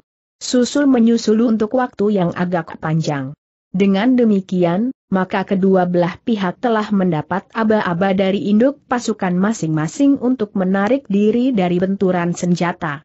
Batikan gerombolan yang datang membantu itu pun mengerti pula isyarat itu, sehingga mereka pun kemudian telah bergeser menjauh. Sementara para prajurit dan pengawal juga tidak memburu mereka. Sementara itu, maka masih terdengar pula isyarat, bahwa gerombolan itu ternyata telah menyerah.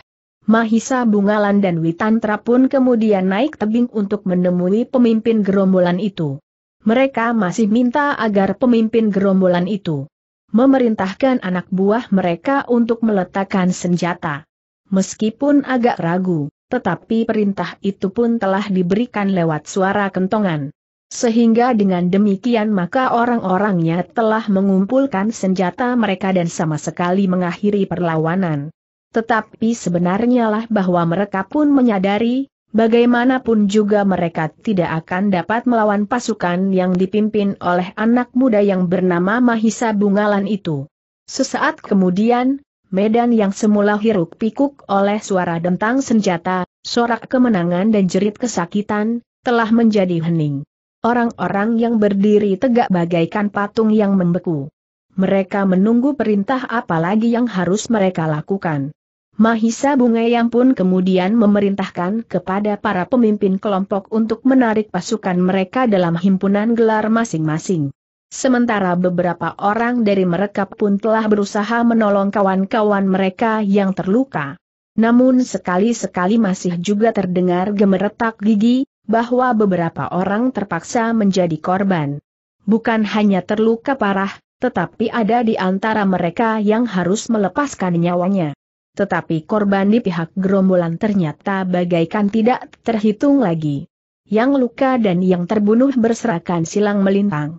Mahisa Bungalanlah yang kemudian memanggil kedua orang pemimpin gerombolan yang menyerah itu. Katanya, kita akan berbicara. Kumpulkan orang-orangmu dan lakukanlah apa yang dapat kalian lakukan terhadap orang. Orang kalian yang terluka. Kumpulkan mereka untuk menjedapat pengobatan. Kedua orang itu pun kemudian mengikuti Mahisa, Bungalan dan Witantra sesudah mereka memerintahkan pengawal kepercayaannya untuk mengurus orang-orangnya. Mengumpulkan mereka yang tidak cedera, tetapi juga yang terluka dan terbunuh. Di tempat yang terpisah, Mahisa Bungalan dan Witantra berbicara langsung dengan kedua orang pemimpin gerombolan yang sudah menyerah itu.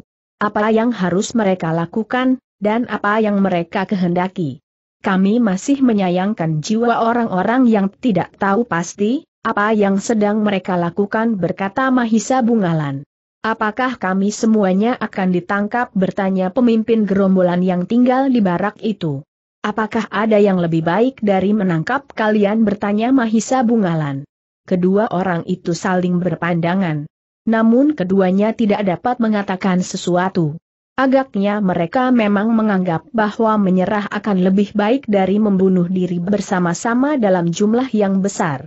Karena kedua orang itu tidak menjawab, maka Mahisa Bungalam pun berkata aku akan berada di sini sampai besok, kami akan mengambil keputusan, apa yang sebaiknya kami lakukan. Aku minta, kalian dan orang-orang kalian tidak melakukan sesuatu yang akan mencelakakan kalian semuanya. Kami, akan mengatur mereka jawab pemimpin gerombolan yang datang untuk membantu, namun yang ternyata, mereka pun telah dijenak oleh kekalahan yang gawat. Setelah memberikan beberapa janji, maka Mahisa Bungalan dan Witantra pun meninggalkan kedua orang itu untuk mengatur pasukannya. Mereka kemudian ditarik beberapa puluh langkah dari barak. Namun pasukan itu masih tetap mengawasi barak itu dari segala arah. Sementara beberapa orang petugas khusus telah berusaha untuk menolong orang-orang yang terluka dan mengumpulkan beberapa orang yang gugur di peperangan itu. Demikian pula yang dilakukan oleh orang-orang di dalam barak gerombolan itu, mereka pun mengumpulkan korban yang berserakan. Sementara beberapa orang di antara mereka pun berusaha menolong kawan-kawan mereka yang terluka. Dalam pada itu, para prajurit dan pengawal telah mengumpulkan senjata orang-orang yang menyerah itu dan menimbunnya di bawah pengawasan. Dengan demikian, maka para prajurit dan pengawal akan yakin bahwa orang-orang dari gerombolan itu tidak akan melakukan perbuatan yang dapat menjerat mereka ke dalam keadaan yang lebih gawat lagi. Palam suasana yang muram, para prajurit dan pengawal terpaksa menguburkan kawan-kawan mereka yang terluka senjata di tempat itu. Tetapi mereka berusaha untuk mendapatkan tempat yang baik dan ditandai dengan ciri yang akan mudah mereka kenal, sehingga apabila pada suatu saat akan dilakukan upacara bagi mereka, maka mereka akan segera dapat mengenal kembali kubur itu. Malam itu, Mahisa Bungalan Witantra dan beberapa orang perwira telah mengadakan pembicaraan. Mereka kemudian sepakat untuk tidak menangkap semua orang. Hanya pemimpin mereka sajalah yang akan dibawa ke Kediri, sementara orang-orangnya yang lain harus menghentikan kegiatan mereka yang merugikan orang lain itu. Tentu akan merupakan satu kesulitan untuk membawa mereka semuanya berkata salah seorang perwira sementara beberapa orang masih ada di padepokan itu. Namun agaknya care itulah yang paling baik. Kita akan dapat mengancam mereka, jika ternyata mereka masih melakukan kegiatan serupa, maka mereka akan kita tumpas habis di saat lain. Aku sependapat berkata perwira yang lain kini mereka nampaknya harus melihat kenyataan. Korban terlalu banyak jatuh di antara mereka, sehingga kekuatan, mereka telah susut jauh dari kekuatan mereka sebelumnya. Yang lain mengangguk-angguk. Mereka tidak mempunyai keberatan, meskipun ada juga semacam dendam yang membara di hati mereka, karena beberapa kawan mereka, yang berangkat bersama-sama, ternyata tidak dapat kembali bersama dengan pasukan itu. Apa boleh buat desis mereka?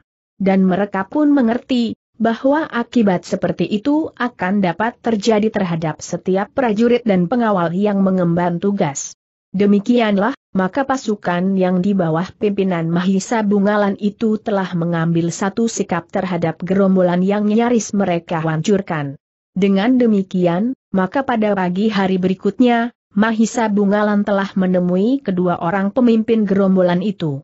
Kepada mereka disampaikan, hasil pembicaraan yang menyangkut kedua orang pemimpin gerombolan itu. Kalian berdua dan orang-orang terpenting dari gerombolan kalian akan kami bawa ke Kediri berkata Mahisa Bungalan.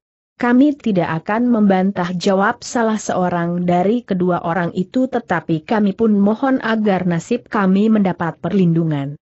Aku akan berusaha jawab Mahisa Bungalan sebentar lagi kami akan meninggalkan tempat ini. Kumpulkan orang-orangmu aku ingin berbicara kepada mereka. Demikianlah, maka di hadapan orang-orang yang semula termasuk dalam gerombolan yang terhitung kuat itu, Mahisa Bungalan telah memberikan beberapa petunjuk agar mereka meninggalkan cara hidup mereka yang hitam itu. kalian akan dapat mencari jalan lain untuk memberi makan dan pakaian keluarga kalian berkata Mahisa Bungalan apa yang kalian lakukan selama ini adalah perbuatan yang tercela. Kalian telah membuat orang lain menjadi korban untuk kepentingan kalian. Orang-orang itu pun mendengarkan keterangan itu dengan sungguh-sungguh. Mereka tidak dapat berbuat lain. Seandainya mereka masih menggenggam senjata, mungkin mereka akan bersikap lain. Mungkin mereka akan berteriak untuk membungkam mulut Mahisa Bungalan. Kata Mahisa Bungalan masih juga berbicara, mereka akan dapat membungkam dengan Caroline, dengan ujung senjata kalian. Tetapi senjata mereka telah mereka serahkan mereka sudah tidak berdaya lagi. Dengan demikian, maka mereka tidak mempunyai pilihan lain daripada mendengarkan keterangan Mahisa Bungalan itu. Namun Mahisa Bungalan pun menyadari, orang-orang yang untuk waktu yang lama hidup dalam lingkungan yang seolah-olah tidak terjamah oleh tata kehidupan dan pergaulan antara manusia yang berusaha meningkatkan peradaban mereka, tentu tidak akan dengan mudah menerima pengertian-pengertian yang dikatakannya. Karena itu, Aka ia pun kemudian juga mempergunakan bahasa orang-orang yang sedang dihadapinya. Katanya kali ini kalian kami ampuni. Tetapi kami berharap, bahwa pesan-pesan kami dapat kalian lakukan. Jika tidak dan ternyata kami masih melihat dan menjumpai kalian dalam tingkah laku alian sekarang ini, maka kami tidak akan dapat mengampuni kalian lagi kami akan menumpah setiap orang yang tertinat dalam kegiatan yang bertentangan dengan tata hidup yang tertib dan saling menghormati. Terasa juga jantung mereka tersentuh oleh kata-kata itu. Ancaman itu harus mereka pertimbangkan. Dan agaknya ancaman itu terpahat lebih dalam di hati mereka daripada beberapa pengertian tentang tata kehidupan dan pergaulan antar manusia, karena sebenarnya lah mereka masih terlalu sulit untuk mengerti, bahwa merugikan orang lain itu adalah salah satu perbuatan yang harus dikutuk. Karena bagi mereka, kekuatan memiliki kemungkinan terbesar di dalam hubungan antar manusia. Yang menanglah yang menentukan atas yang lemah. Beberapa kali Mahisa Bungalan menekankan pesan-pesannya. Sehingga Mahisa Bungalan yakin, bahwa orang-orang itu benar-benar mengerti yang dimaksudkan, dan benar-benar ngeri mengalami hukuman yang bakal dijatuhkan kepada mereka, apabila mereka melanggar pesan-pesan itu. Setelah selesai dengan pesan-pesannya, maka Mahisa Bunga Lampun kemudian minta diri. Dua orang pemimpin mereka dari dua lingkungan akan dibawa oleh pasukan Mahisa Bungalan bersama dua orang terpenting dari lingkungan masing-masing. Sehingga dengan demikian, maka Mahisa Bungalan akan menjadi lebih yakin lagi, bahwa gerombolan itu tidak akan mampu lagi berbuat apa-apa. Selain segala macam pesan itu, Mahisa Bungalan masih mengambil satu sikap yang sebenarnya sangat berat bagi mereka. Semua harta kekayaan yang ada dan bernilai tinggi akan dibawa oleh pasukan itu untuk diserahkan kepada pimpinan di Kediri adalah sangat baik apabila barang-barang itu dapat diserahkan kembali kepada yang memilikinya. Tetapi jika hal itu tidak mungkin lagi dilakukan, karena pemiliknya sudah tidak dapat mengenali orang-orang mereka yang sudah terlalu lama hilang, atau karena sebab-sebab lain, sehingga barang-barang itu tidak dapat lagi sampai kepada para pemiliknya, maka barang-barang itu akan dapat dipergunakan untuk kepentingan yang lebih berarti bagi Kediri. Demikianlah, maka ketika matahari naik lebih tinggi lagi, pasukan itu meninggalkan barak gerombolan yang dianggap paling kuat di daerah yang luas, yang seolah-olah jarang sekali dapat dicangkau oleh tangan-tangan pasukan yang dapat memberikan perlindungan kepada rakyat yang lemah. Kita akan menyusun rencana baru berkata Mahisa Bungalan kepada Witantra tetapi pada dasarnya, aku akan datang ke setiap sarang seperti yang sudah kita. Apakah tidak ada Caroline bertanya Witantra kepada diri sendiri.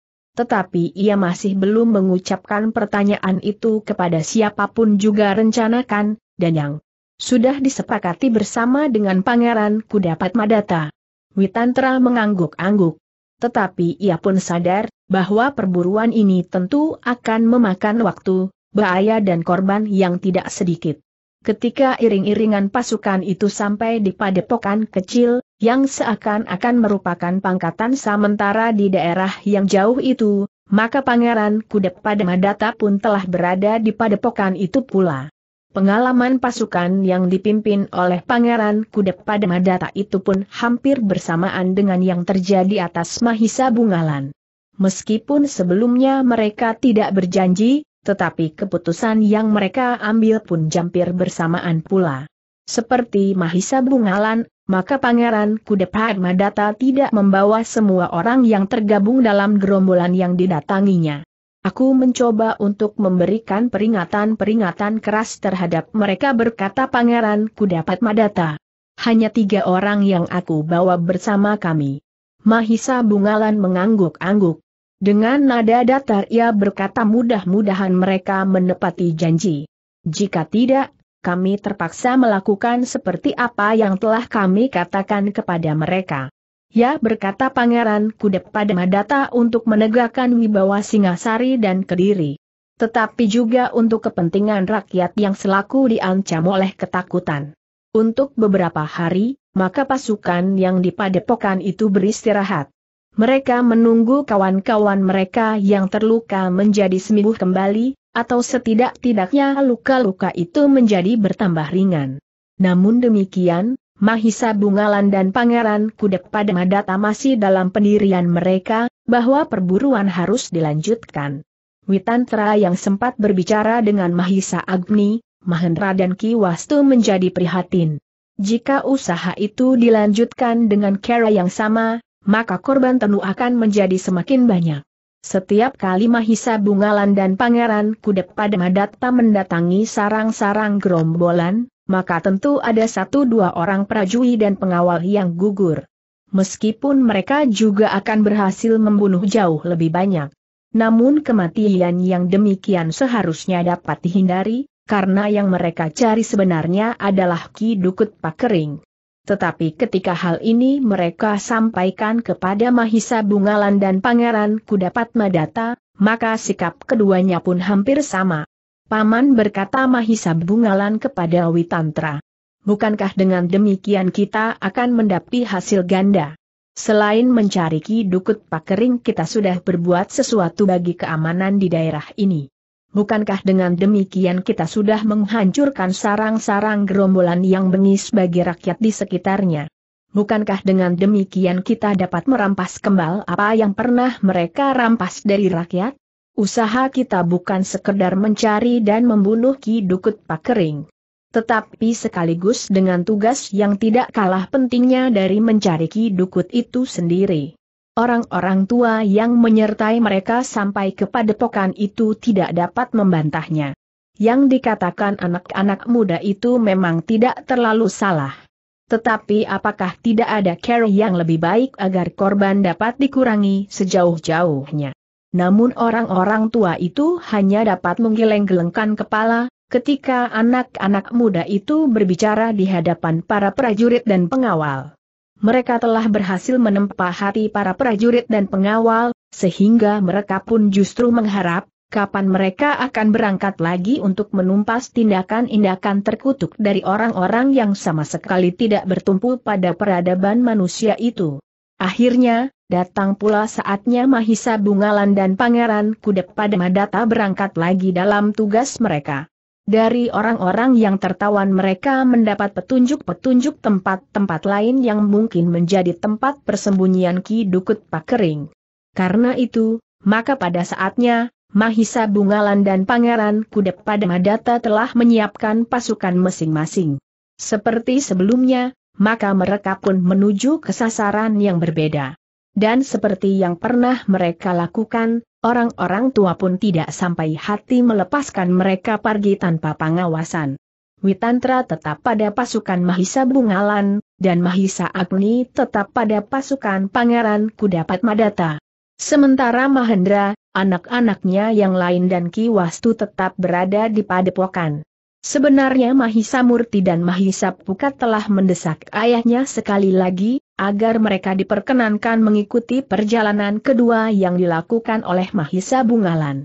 Namun seperti yang terdahulu, ayahnya tetap berkeberatan untuk melepaskan mereka pergi, karena menurut cerita yang didengarnya, maka medan yang dihadapi oleh pasukan-pasukan itu adalah medan yang cukup berat. Jadi kapan kita akan pergi bertanya Mahisa Murti? Kita tidak pergi bertamasya jawab ayahnya aku akan memberitahukan kepada kalian, jika menurut perhitunganku hal itu memungkinkan. Tetapi jika tidak, maka kita akan tetap menunggu di sini. Itu bukan berarti bahwa kita tidak berbuat apa-apa. Di sini kita membantu menjaga para tawanan. Bahkan mungkin Ki Dukut Pakering yang kita cari ke mana-mana itu justru datang kemari dengan maksud yang paling buruk yang pernah direncanakan. Mahisa Murti dan Mahisa Pukat tidak dapat memaksa. Karena itu, betapapun mereka sangat kecewa, mereka harus tetap tinggal di padepokan itu bersama ayahnya dan beberapa orang prajurit dan pengawal yang mengawasi beberapa orang tawanan bersama para cantrik padepokan itu. Tetapi yang terjadi kemudian pun tidak berbeda dengan yang baru saja dilakukan oleh Mahisa Bungalan dan Pangeran Kudapat Madata. Mereka hanya menemukan sarang gerombolan tanpa orang yang menyebut dirinya Raja Wali Penakluk mereka pun hanya menemukan kematian tanpa arti, karena mereka tidak berhasil menangkap buruan mereka. Namun demikian, Mahisa Bungalan dan Pangeran Kudep pada Madata masih merasa bahwa mereka telah berbuat sesuatu. Mereka telah berhasil membuat orang-orang itu mengakui dan menyesali kesalahan mereka, sehingga mereka berjanji tidak akan melakukannya lagi. Dalam pada itu, daerah yang bagaikan diaduk oleh prahara karena kehadiran pasukan Mahisa Bungalan dan Pangeran Kudep pada Madata di daerah yang luas, telah menjadi perhatian beberapa orang yang meskipun tidak langsung, namun ikut berkepentingan. Orang-orang yang memiliki ilmu yang cukup, namun yang telah memilih daerah hitam sebagai arna hidup mereka. Yang memperhatikan segala peristiwa itu dengan darah yang mendidih adalah Ki Dukut Pakering sendiri meskipun ia tidak berada di antara orang-orang yang dihancurkan oleh pasukan Singasari dan Kediri itu, namun ia mendengar apa yang telah terjadi.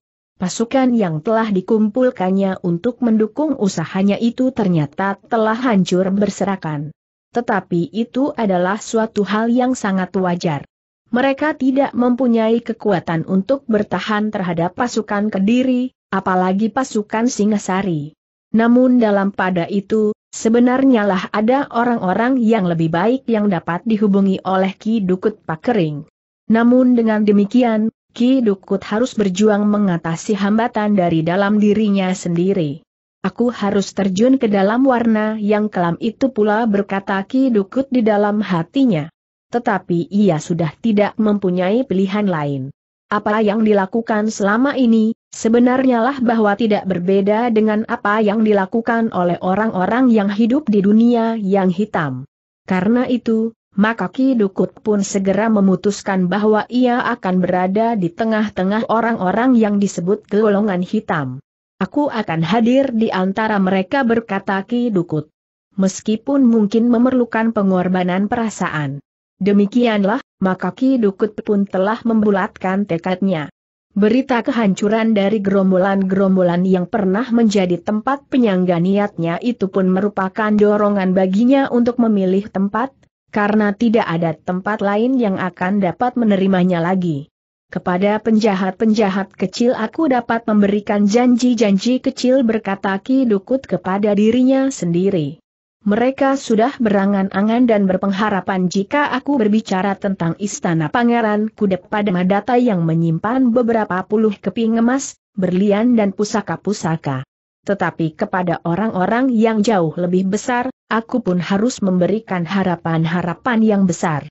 Karena itu, maka yang kemudian akan disebut-sebut oleh Ki Dukut dengan orang-orang yang dianggapnya cukup besar di lingkungan orang-orang berilmu hitam, adalah Kediri itu sendiri.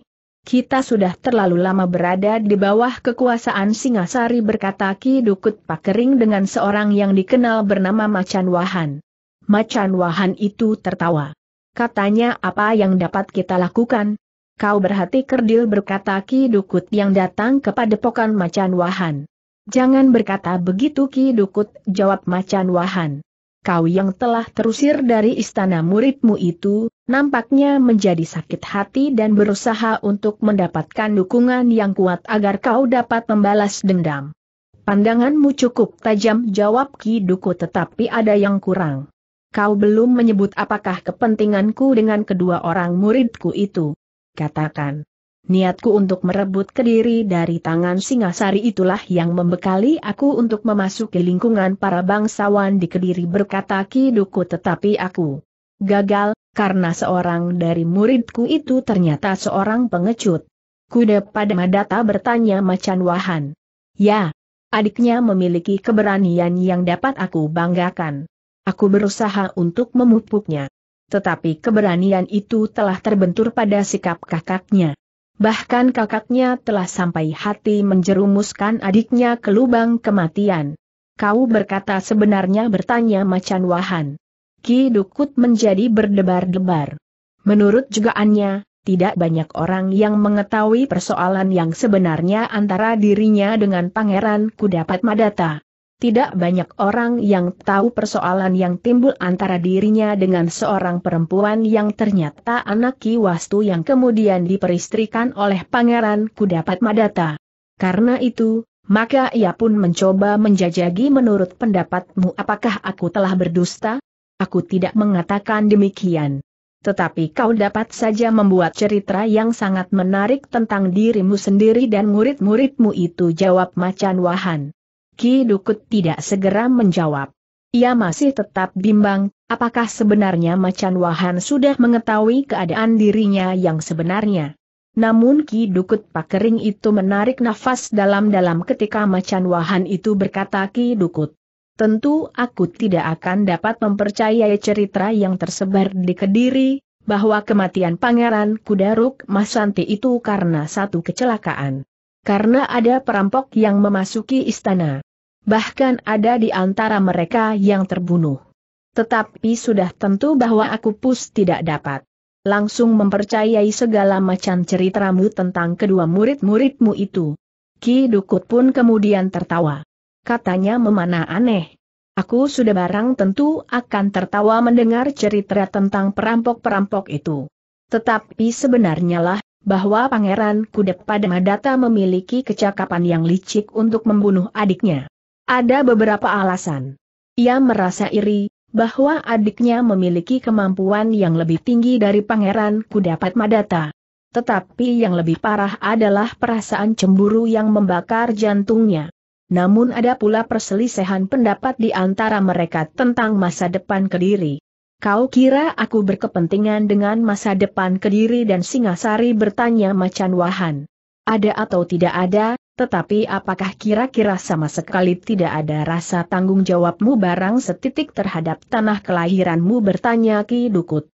Hi, kau kira aku lahir di mana tiba-tiba macan wahan tertawa aku tidak lahir di telatah Kediri atau Singasari. Di mana kau lahir bertanya Ki Dukut. Aku lahir di atas tanah perdikan. Seperti sekarang aku merasa tidak berada di bawah pemerintahan Kediri maupun Singasari jawab Macan Wahan. Ki Dukut menarik nafas dalam-dalam. Lalu katanya. Tetapi bagaimanapun juga sebenarnya kau dapat berbuat sesuatu. Aku masih akan selalu berusaha, agar Kediri dapat bangkit untuk melepaskan diri dari Singasari. Bahkan aku ingin mengembahkan kebesaran Kediri dengan menghapuskan arti Singasari dan menjadikan kembali sebagai tanah pakuan di bawah pimpinan seorang aku. Kau sedang bermimpi desis macan wahan. Tidak. Orang-orang Kediri sekarang sedang tidur nyenyak. Soalnya, bagaimana membangunkan mereka?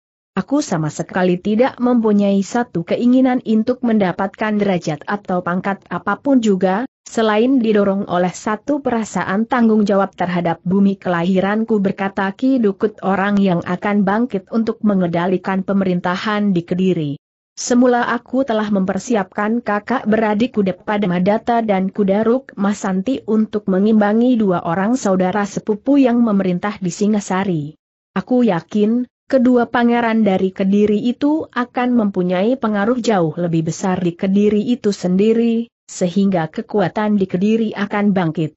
Tetapi sayang, salah seorang dari kedua pangeran itu ternyata tidak jujur desis Ki Dukut. Apakah kau masih mungkin dapat berhubungan dengan para bangsawan di Kediri bertanya Macan Wahan. Aku yang tidak percaya lagi kepada para bangsawan. Mereka masih tetap hidup senang dalam keadaan yang seperti sekarang ini.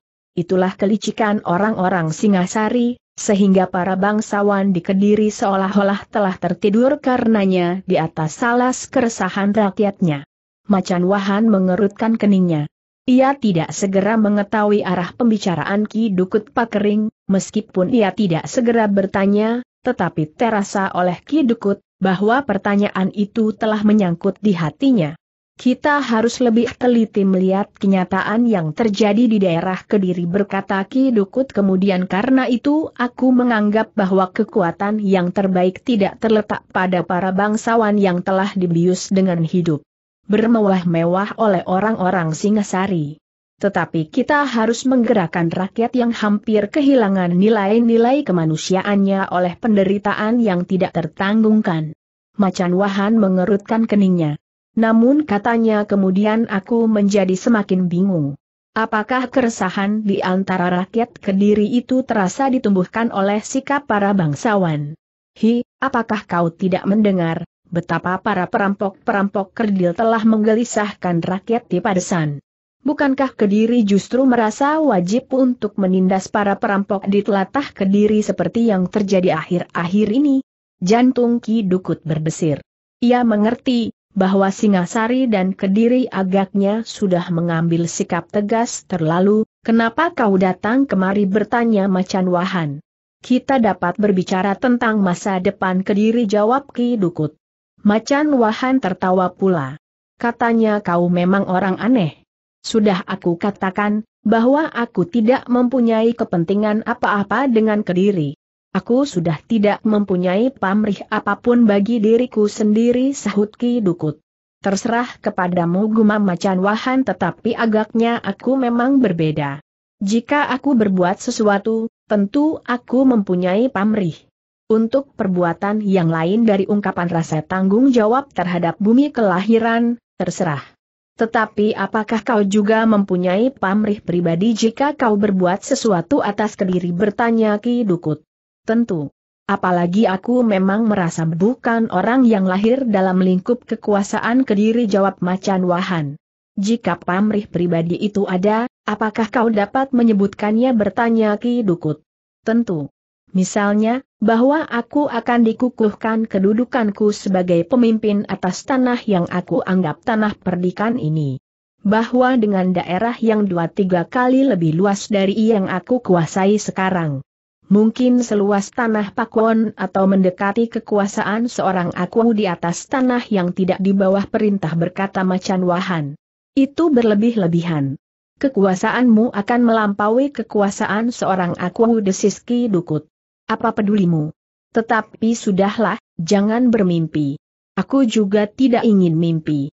Marilah kita berbicara tentang persoalan-persoalan yang sewajarnya kita hadapi. Persoalan kediri itu pun persoalan wajar. Tetapi aku kira yang kau katakan itu pun tidak mustahil, asal kita sendiri dapat ikut menentukan jalannya pemerintahan kelak berkata Ki Dukut. Maksudmu bertanya Macan Wahan. Kita harus mempunyai pengaruh yang kuat terhadap lada para perampok yang telah digerakkannya dengan nama Raja Wali Penakluk. Namun ia berkata perampok-perampok yang malang, tetapi kau tahu, apakah sebenarnya yang telah memaksa mereka menjadi perampok? Memang agak berbeda dengan apa yang kau lakukan. Kau tidak dapat disebut perampok seperti mereka, karena kau memang tidak merampok dan menyamun dalam pengertian sewajarnya. Jangan menyinggung perasaanku potong macan wahan. Bukan maksudku. Aku hanya ingin mengatakan, bahwa perampok-perampok kerdil yang tumbuh di mana-mana di telatah kediri itu adalah gambaran keresahan rakyat. Mereka tidak lagi mengerti apa yang sebaiknya mereka lakukan. Karena itulah, maka mereka pun dengan mudah dipengaruhi oleh beberapa orang penjahat kecil mereka telah dibakar dengan keterangan-keterangan yang memang dapat membangkitkan kedengkian dan iri hati. Perampok-perampok kecil itu dengan tajam telah memberikan gambaran yang tajam tentang perbedaan tataran kehidupan rakyat Kediri. Karena itu maka mereka yang kehilangan nalar, akan dengan cepat mengambil keputusan, benar atau salah. Lalu, apakah kau akan berbuat serupa beritanya Macan Wahan? Ya. Tetapi untuk kepentingan yang besar bagi kejayaan Kediri jawab Ki Dukut kita harus menggerakkan mereka. Mereka siapa bertanya Macan Wahan. Rakyat Kediri yang malang jawab Ki Dukut. Macan Wahan termangu-mangu sejenak. Sementara Ki Dukut pun melanjutkannya rakyat harus berbuat sesuatu tidak sebagai perampok-perampok kecil yang justru merugikan rakyat Kediri sendiri. Bukan harus saling memeras, saling menghisap dan saling merampas.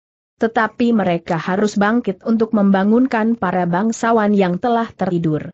Barulah, jika para bangsawan itu telah terbangun dari mimpi mereka yang nikmat, maka Kediri akan bangkit kembali untuk menghancurkan Singasari yang semula tidak lebih dari sebuah pakuwon, yang dipimpin oleh Tunggul Ametung. Dan yang kemudian direbut oleh anak perampok bernama Kainarok itu. Lalu apa keuntungannya bertanya Macan Wahan. Kau ikut menjadi penentu. Karena itu, marilah kita berdiri di depan kita akan dapat menentukan wujud yang paling baik dari Kediri mendatang. Para bangsawan yang terbangun dari mimpi itu, akan terterima kasih kepada kita jika kelak mereka berhasil. Dengan demikian, meskipun kita tidak berdiri di paling depan, juga tidak mungkin untuk berada di atas tahta, namun kita telah ikut membuat pola dari satu pemerintahan yang besar di Kediri. Kita akan dapat ikut menentukan, siapakah yang sudah dianggap berjasa, dan mendapat imbalan yang sepadan. Mungkin tanah perdikan yang luas. Mungkin pangkat dan derajat, sebagai aku misalnya. Atau imbalan-imbalan lain yang memadai. Apakah modal kita? Padepokan kecilku ini bertanya Macan Wahan. Ya. Tetapi sudah barang tentu kita tidak akan berbuat bodoh kita akan mulai dengan perbuatan-perbuatan kecil yang akan dapat menarik perhatian. Mungkin kita akan dapat menghimpun orang-orang sesat yang menjadi perampok-perampok kerdil itu. Untuk apa bertanya Macan Wahan? Ada dua keuntungan jawab Ki Dukut pertama kita akan mendapat kekuatan. Kedua, rakyat akan berterima kasih kepada kita, karena kita berhasil menghentikan kelakuan mereka. Macan Wahan tertawa. Katanya orang-orang Kediri telah melakukannya lebih dahulu. Mereka telah menyapu para penjahat kecil itu. Tidak apa. Biarlah mereka melakukannya sekarang. Tetapi kita akan dapat melakukannya dengan Caroline. Kekerasan akan menumbuhkan dendam. Dan orang-orang yang mendendam itu akan kita pergunakan. Selebihnya, Bukankah kita mempunyai beberapa orang kawan yang tinggal di padepokan-padepokan yang terpencar bertanya Ki Dukut. Padepokan yang mana bertanya Macan Wahan. Hanya mereka yang mampu berpikir jawab Ki Dukut.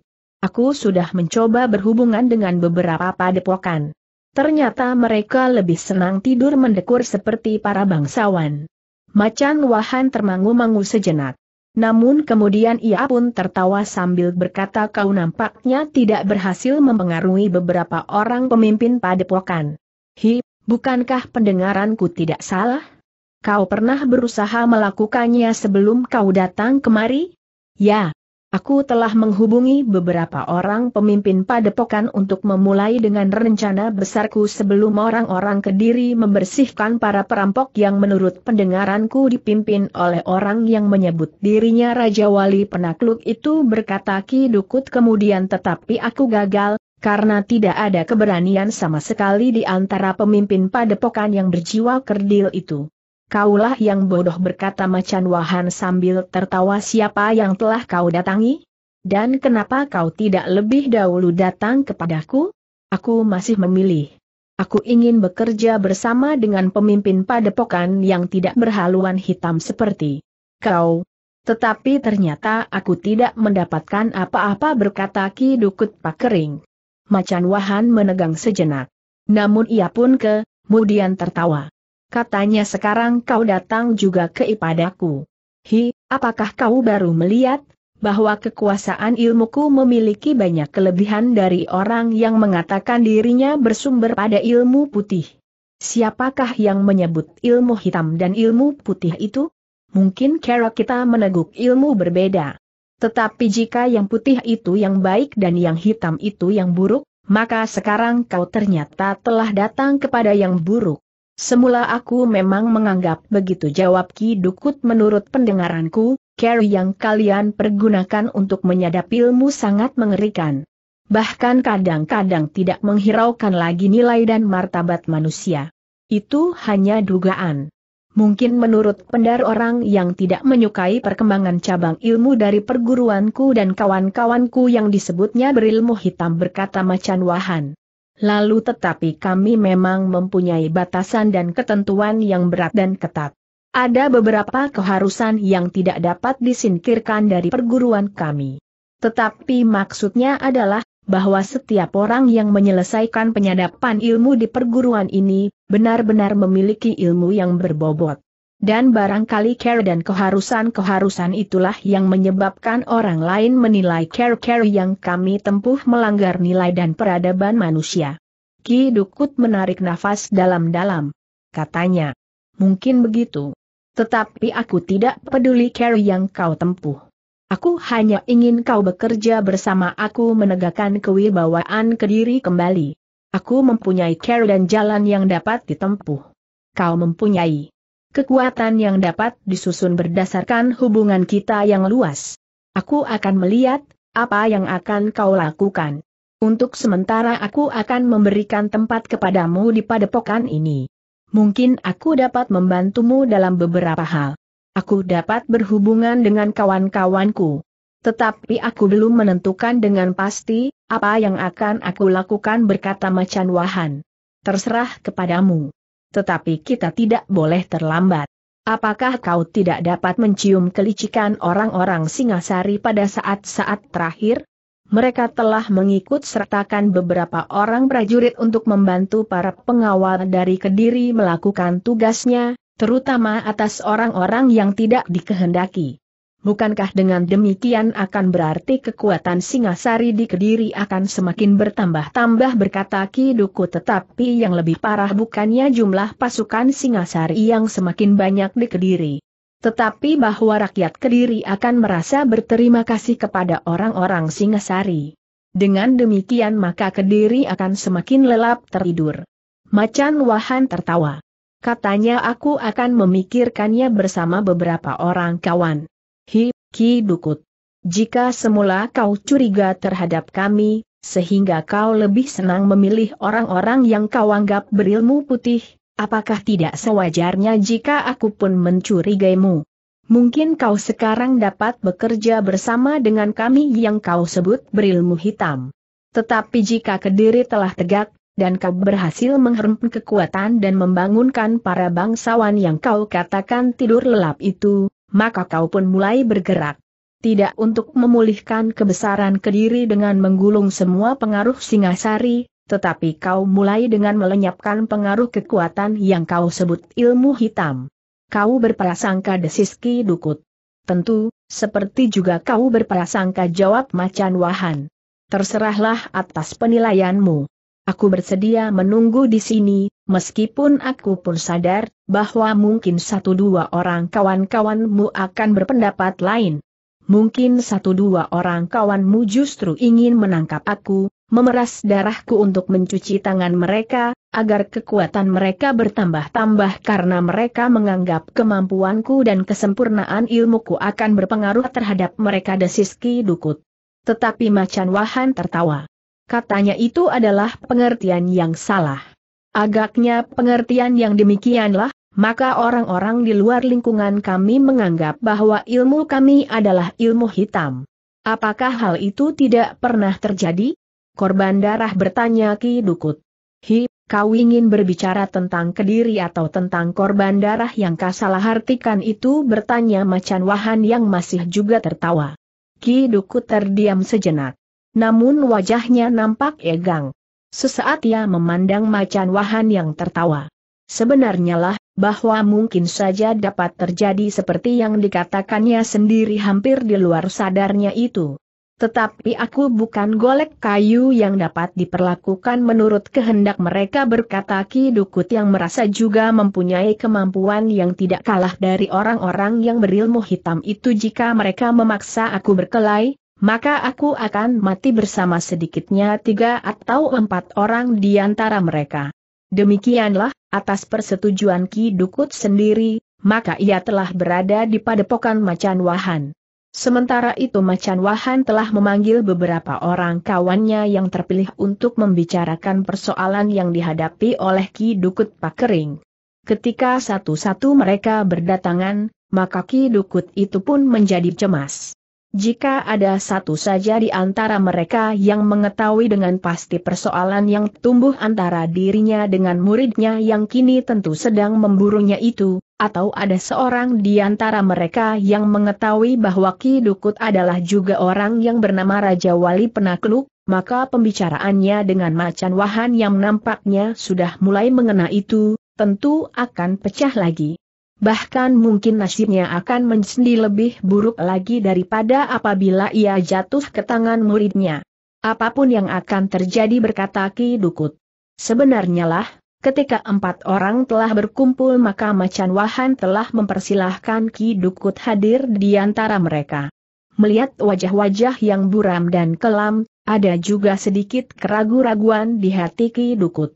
Jika hati mereka benar-benar tercermin pada wajah-wajah itu, sebenarnya mereka orang-orang berhati hitam berkata Ki Dukut di dalam hatinya ternyata Macan Wahan yang garang itu termasuk wajah yang paling jernih di antara mereka. Tetapi Ki Dukut agak merasa lega, ketika ia melihat pengaruh macan wahan yang besar atas keempat orang kawan-kawannya lah telah memberikan penjelasan menurut pendengarannya dari Ki Dukut. Dan selebihnya, ia telah mempersilahkan Ki Dukut untuk berbicara langsung kepada mereka. Namun tanggapan yang pertama sangat mengecewakan. Seorang berwajah kacat di bawah telinga kirinya berkata dengan nada kasar jangan umpankan kami. Kami mempunyai care, tersendiri untuk mempertahankan hidup kami. Macan Wahan tertawa. Katanya kami sudah memilih dunia kami sendiri. Tetapi kadang-kadang kami terpaksa berpikir juga tentang anak cucu.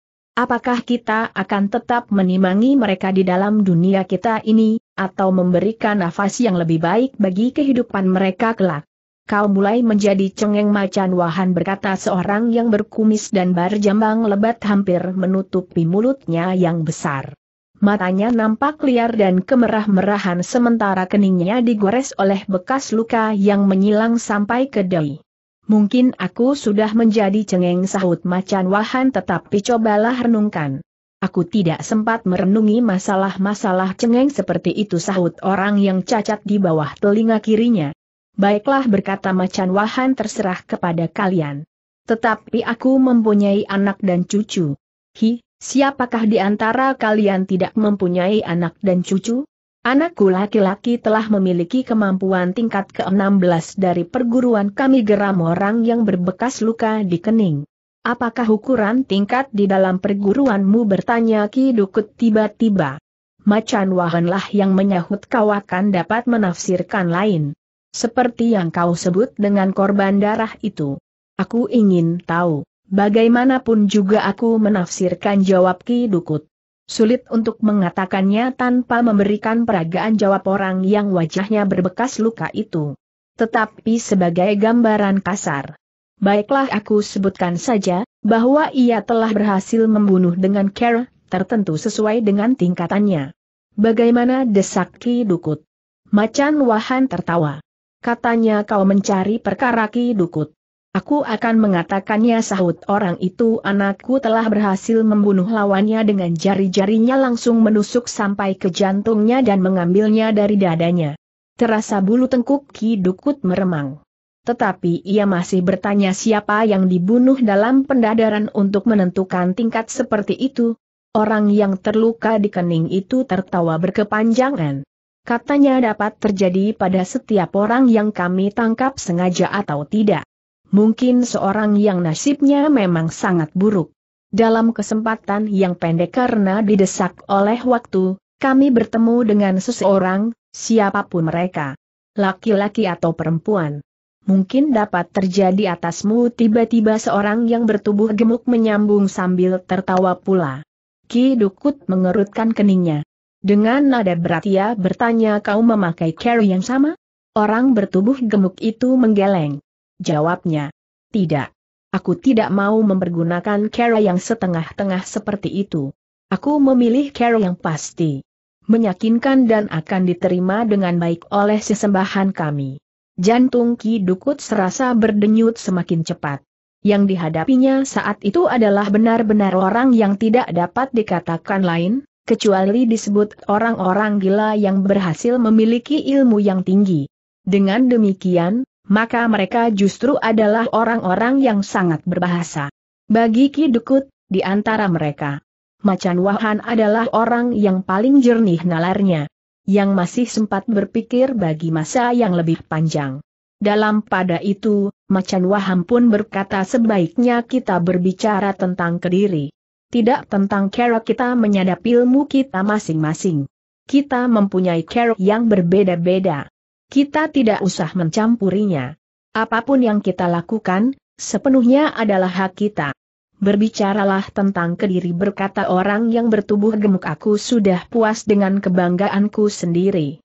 Apakah tidak sebaiknya kita berbicara tentang satu masa yang lebih panjang dari umur kita sendiri berkata Macan Wahan. Sudah aku katakan desis orang yang wajahnya terluka dan berkumis dan berjambang lebat aku tidak mau berbicara tentang masalah-masalah cengeng seperti itu jika aku tahu bahwa di sini kita hanya disuguhi dengan masalah-masalah yang tidak berarti, kami tidak akan datang. Kalian orang-orang yang tidak mau berpikir berkata macan wahan masalahnya bukan tidak berarti, tetapi justru sebaliknya. Mungkin bagi kalian terlalu berarti, sehingga kalian tidak mampu menjangkau jarak waktu yang diperlukan untuk memperhitungkan persoalan ini. Karena hidup kalian adalah masa kini tanpa masa depan. Sudah cukup potong orang yang bertubuh gemuk sebenarnya apa yang terjadi atasmu macan wahan. Kau seperti orang yang sedang kesurupan. Hi, apakah orang ini yang telah berhasil merubah karamu berpikir? Aku berpikir sejak semula. Terasa di hatiku sejak aku belum bertemu dengan Ki Dukut, bahwa hidup kita tidak terbatas pada batas umur kita sendiri berkata macan wahan. Macan Wahan berkata orang yang cacat di bawah telinga kirinya kau agaknya sudah terbius oleh bujukan orang ini. Apakah sebenarnya yang dikehendakinya? Buat apa kita berbincang dengan orang yang tidak tahu diri itu? Sebaiknya orang yang demikian itu hanyalah sekedar untuk menjajagi ilmu murid-muridku, sampai di tingkat mana ia berhasil menyadap ilmu di perguruanku. Ternyata di sini ia mendapat tempat yang agaknya sangat terhormat. Hi, apakah ia pamanmu, kakakmu atau siapa dan dalam hubungan yang bagaimana? Ia bukan sanak bukan kadangku. Ia termasuk orang yang berilmu meskipun care penyadapannya agak berbeda dengan kita. Dalam hubungan itulah kita berbicara jawab macan wahan. Orang yang cacat di bawah telinga kirinya itu mengerutkan keningnya. Kemudian katanya aku tidak yakin bahwa ia memiliki ilmu yang memadai untuk berbicara dengan kita. Sebaiknya kita pergi saja daripada membuang waktu. Jika kami tidak menghormatimu macan wahan maka orang ini tentu sudah aku tangkap dan aku hadapkan kepada murid-muridku untuk melihat tingkat kemampuan anak-anak itu. Kau salah menilai orang ini jawab macan wahan. Tetapi jika kau perlu meyakinkannya, terserah kepada Ki Dukut.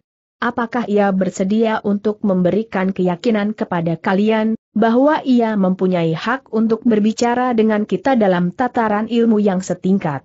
Jangan mencelakai tamumu yang nampaknya sangat kau hormati itu macan wahan.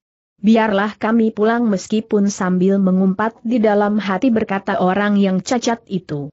Tetapi orang yang berkumis dan berjambang lebat serta segores bekas luka di keningnya itu berkata aku sudah terlanjur bernafsu untuk menjajagi ilmunya. Mungkin ia memiliki sesuatu yang menarik. Aku kira aku memerlukannya. Tentu saja jika Macan Wahan mengizinkannya. Jawablah Ki Dukut berkata Macan Wahan. Ki Dukutlah yang mengumpat di dalam hatinya. Tetapi ia pun seorang yang yakin akan ilmunya. Meskipun ia merasa ngeri melihat wajah-wajah itu, serta ngeri mendengar apa saja yang pernah mereka lakukan, namun berhadapan dengan mereka. Ki Dukut sama sekali tidak menjadi gentar. Karena itu, Ki Dukut pun kemudian berkata baiklah Kisanak. Aku akan memenuhi keinginan kalian. Siapa yang ingin menjajagi kemampuanku agar kalian yakin bahwa aku dapat berbicara sesuai dengan ungkat kemampuanku di antara kalian? Siapa yang harus berdiri menjadi lawanku? Kalian dapat mengajukan diri, tetapi dengan keikhlasan untuk mati tanpa dendam. Gila geram orang yang bertubuh gemuk ternyata orang ini sangat sombong. Sombong atau tidak sombong, tetapi kita harus berjanji. Janji jantan, Siapa yang memasuki arna, bersedia untuk mati. Kematian itu sudah disepakati bersama di bawah saksi kita semua yang masih sempat hidup, bahwa kematian itu tidak akan menyeret persoalan-persoalan lain. Sementara kita yang masih hidup akan berbicara tentang kediri jawab Ki Dukut. Aku akan memilin lehernya sampai putus geram orang bertubuh gemuk itu. Serahkan kepadaku berkata orang yang cacat di bawah telinga kirinya aku ingin memeras darahnya sampai kering. Mungkin darahnya akan bermanfaat bagiku. Tidak akan berharga sama sekali geram yang berkumis dan berjambang lebat serta segores bekas luka di kening. Tetapi biarlah aku mencincang dengan tanganku. Dalam pada itu, Ki Dukut dengan hati yang berdebar-debar menunggu, Siapakah di antara mereka yang disepakati untuk berperang tanding? Sementara itu, ketiga orang kawan macan wahan itu masih berebut untuk menjadi lawan Ki Dukut. Mereka menganggap bahwa dengan membunuh orang yang juga memiliki ilmu, akan dapat menambah ilmu mereka sendiri. Bahkan kadang-kadang dengan cara yang aneh, yang mengerikan, sehingga mereka disebut orang berilmu hitam. Akhirnya ketiga orang itu menemukan satu care untuk menentukan, siapakah yang akan bertempur melawan Ki Dukut. Orang yang bertubuh gemuk itu kemudian mengajak kedua orang kawannya berdiri saling berhadapan. Kita akan mengangkat tangan kita dan mengucapkannya ke depan. Terlentang atau menelungkup berkata orang yang gemuk itu siapa yang paling berbeda. Dari yang lain, maka ialah yang menang dan berhak untuk membunuh dan menghisap darah orang dungu itu. Baik desis orang yang cacat di bawah telinga kirinya. Kita akan segera mulai. Waktuku sudah tersia-sia. Hi, bagaimana dengan kau Macan Wahan? Macan Wahan menggelengkan kepalanya. Katanya, aku tidak ragu-ragu lagi atas orang yang memang sudah aku kenal ini. Ia memiliki ilmu yang pantas, sehingga ia akan dapat berbicara di antara kita. Jika ada di antara kalian yang masih ingin menjajaginya, silahkan. Tetapi aku setuju, bahwa siapa yang turun ke gelanggang akan mengikhlaskan kematiannya. Apakah itu Ki Dukut Pakering, atau salah seorang dari kalian bertiga yang beruntung mendapat kesempatan berperang tanding? Bagus. Agaknya kau benar-benar sudah menjadi cengeng. Tetapi baiklah jika kau tidak ingin ikut dalam kegembiraan ini berkata orang yang berjambang dan berkumis lebat serta segordes bekas luka di kening. Terserah. Tetapi aku sembilan sebagai tuan rumah memang tidak ingin merebut kegembiraan tamu-tamuku.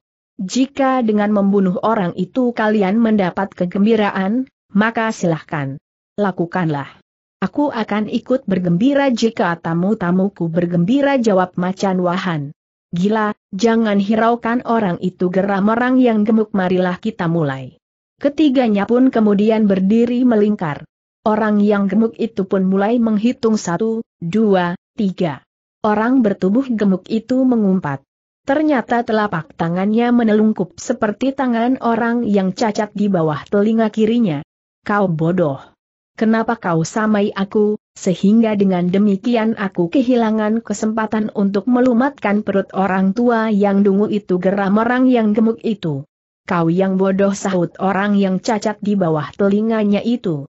Jangan ribut berkata orang yang berjambang dan berkumis lebat serta segores bekas luka menyelang di kening. Akulah yang mendapat kesempatan. Aku akan membunuhnya dengan caraku. Aku ingin membuktikan bahwa aku memiliki ilmu yang sempurna. Macan Wahan boleh percaya atau tidak. Tetapi segalanya akan tergantung kepada orang tua yang malang itu. Semakin tinggi kemampuannya mengimbangi ilmuku, maka ilmuku itu pun akan nampak semakin sempurna.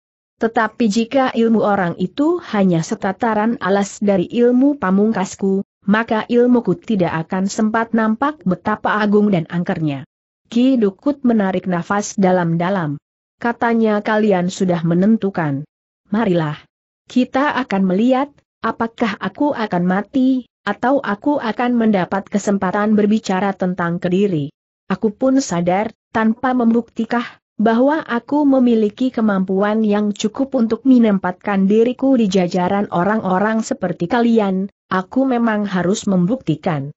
Kita akan turun ke halaman berkata orang berjambang dan berkumis lebat biarlah murid-muridmu menjadi saksi macan wahan. Tetapi mereka yang belum sampai pada tataran yang memungkinkan, jangan kau beri kesempatan untuk melihat. Marka tentu akan pingsan karena aku akan menunjukkan satu ungkapan ilmuku yang paling dahsyat. Macan Wahan tertawa. Katanya mulailah. Aku mengenalmu seperti kau juga mengenal aku. Yang belum kau kenal adalah bakal lawanmu itu. Persetan geram orang berkumis dan berjambang lebat itu. Apakah kita akan bersenjata atau tidak bertanya Ki Dukut tiba-tiba. Orang berjambang lebat itu tertawa. Katanya itulah ukuranmu. Kau masih bertanya tentang senjata? Jika kau mau memakai senjata, pakailah segala jenis senjata. Tanganku lebih berbahaya dari senjata apa pun juga. Ki Dukut mengarutkan keningnya. Orang itu terlalu yakin akan dirinya. Namun dengan demikian Ki Dukut memang harus berhati-hati menghadapinya. Mungkin orang itu memang memiliki ilmu iblis yang menggetarkan. Balkiah berkata Ki Dukut kemudian kita berjanji, bahwa kita masing-masing tidak akan mempergunakan senjata apa pun juga kecuali tangan kita. Marilah. Aku sudah siap untuk mulai dengan permainan ini. Sekali lagi aku katakan, kita akan bertempur sampai kematian merenggut salah seorang di antara kita dari arena perang tanding. Tanpa dendam, tanpa persoalan samping yang akan dapat tumbuh. Yang berada di luar arena akan menjadi saksi. Orang berjambang dan berkumis lebat itu tertawa berkepanjangan.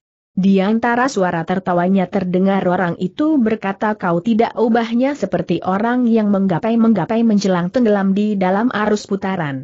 Tetapi baiklah katakan apa yang ingin kau katakan. Mungkin kau tidak akan mempunyai kesempatan lagi. Ki Dukut menarik nafas dalam-dalam. Namun ia tidak menjawab lagi. Sejenak kemudian, keduanya telah bersiap sepenuhnya. Meskipun lawan Ki Dukut itu masih saja tertawa, namun ia sudah mulai bersungguh-sungguh mengamati sikap Ki Dukut. Ki Dukut pun segera bersikap. Ia berdiri tegak menghadap lawannya. Kemudian satu kakinya melangkah setengah langkah ke depan. Baru kemudian ia merendah sambil memiringkan tubuhnya. Kedua tangannya pun terangkat dan bersilang di dadanya. Lawannya pun telah bersiap pula. Sambil berteriak nyaring ia meloncat menyerang Ki Dukut Pakering. Ki Dukut bergeser sedikit. Ia mengerti bahwa lawannya masih belum bersungguh-sungguh. Namun demikian ia tidak boleh lengah. Kekalahan dalam perang tanding itu berarti mati. Karenanya serangannya tidak mengenai sasarannya, maka lawan Ki Dukut itu pun segera meloncat berbalik. Tetapi ternyata Ki Dukut bersikap sangat berhati-hati. Ia tidak segera menyerang, tetapi bersiap-siap untuk menerima serangan berikutnya. Sebenarnya lah orang itu pun telah sekali lagi menyerang. Kakinya terjulur lurus menyamping, Ketika Ki Dukut menghindar setengah langkah, tiba-tiba saja lawannya berputar. Sekali lagi kakinya yang lain terjulur lurus mengarah lambung. Hampir saja tumit orang itu menyentuhnya. Namun Ki Dukut masih sempat menarik tubuhnya selangkah surut. Bahkan kemudian dengan serta-merta ia menghantam kaki lawannya yang terjulur. Tetapi lawannya cepat menarik kakinya. Setengah langkah ia meloncat. Terdengar ia berteriak nyaring sambil merendah pada lututnya. Kedua kakinya yang renggang seakan-akan menggeletar. Sementara jari-jari kedua tangannya tiba-tiba saja telah mengembang, seperti jari-jari seekor harimau yang siap menerkam dan merobek tubuh mangsanya. Ki Dukut mengerutkan keningnya, lah melihat satu tingkat perkembangan ilmu lawannya.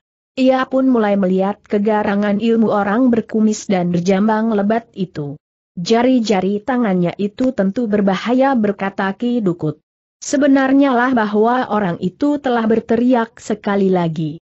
Dengan garangnya ia meloncat menerkam dengan jari-jari tangannya yang mengembang. Ketika Ki Dukut mengelak, maka lawannya itu pun segera memburunya. Menerkamnya pula dengan loncatan panjang. Beberapa kali Ki Dukut memang harus berloncatan menghindar.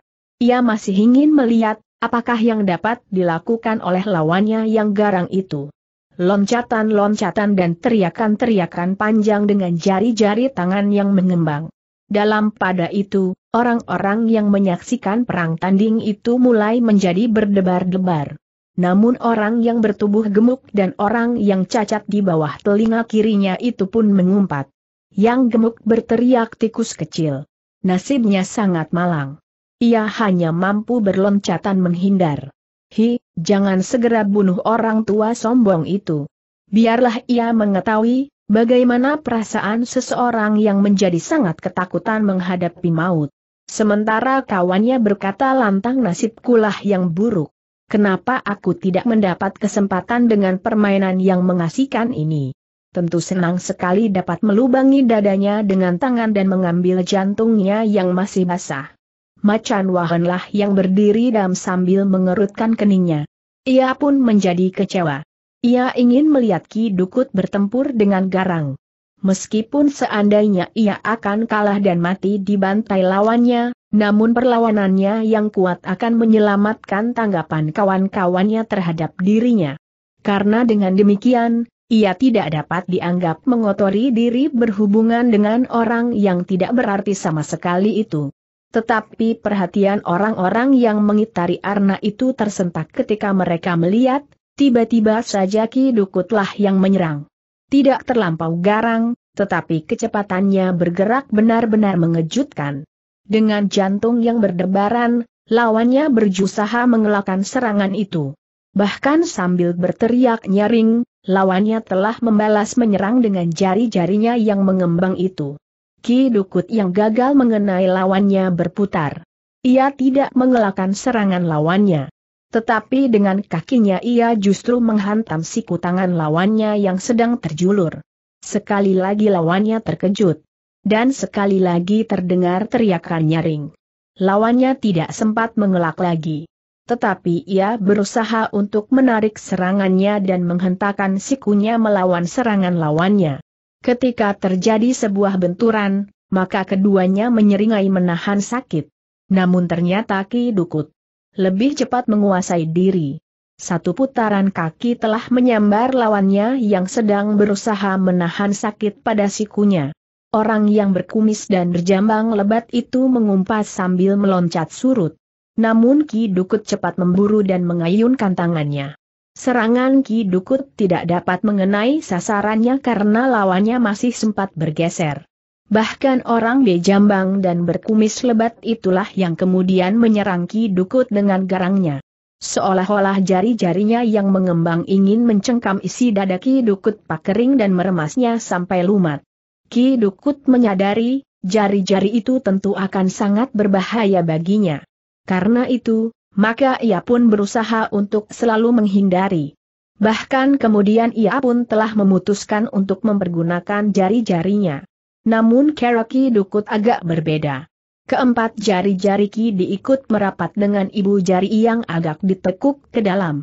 Dengan ujung jari-jarinya itulah maka Ki Dukutlah yang kemudian meloncat menyerang dengan kecepatan yang mengejutkan. Ujung jari-jarinya langsung menusuk, menghantam pundak lawannya. Ternyata kecepatan yang tidak terduga-duga itu tidak dapat diimbangi oleh lawannya. Karena lawannya tidak sempat mengelak, maka ia berusaha menangkis serangan itu.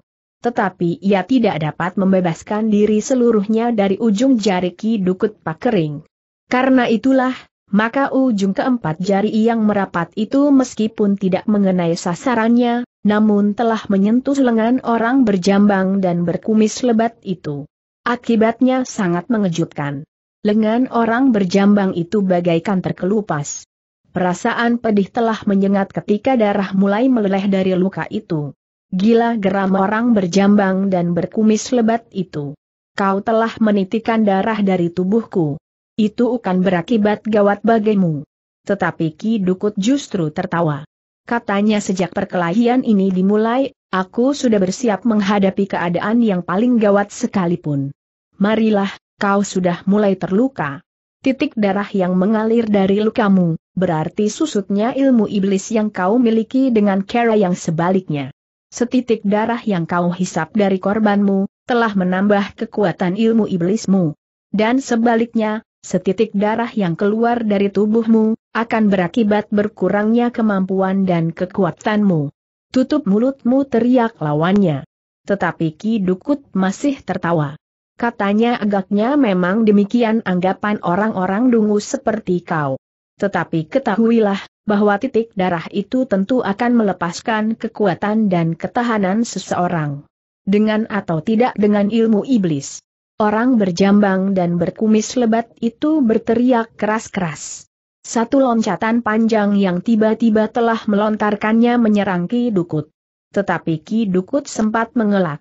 Namun lawannya yang bagaikan gila itu memburunya dengan jari-jari tangannya yang mengembang. Ki Dukut menjadi semakin berdebar-debar. Lawannya benar-benar telah menjadi wuru. Agaknya ia sudah menggapai ilmu puncaknya yang diwarnai dengan kekuatan hitam kelam. Sebenarnya lah bahwa orang berjambang dan berkumis lebat itu menjadi semakin liar. Matanya menjadi merah membara, sementara mulutnya nampak membusa, namun yang mendebarkan jantung Ki Dukut adalah bahwa seolah-olah dari hidung orang itu telah membayang semacam asap yang kekuning-kuningan. Itu adalah kekuatan iblisnya berkata Ki Dukut di dalam hatinya. Namun Ki Dukut pun mempunyai andalan ilmu puncaknya. Keempat jari-jarinya yang merapat itulah yang kemudian bergetar.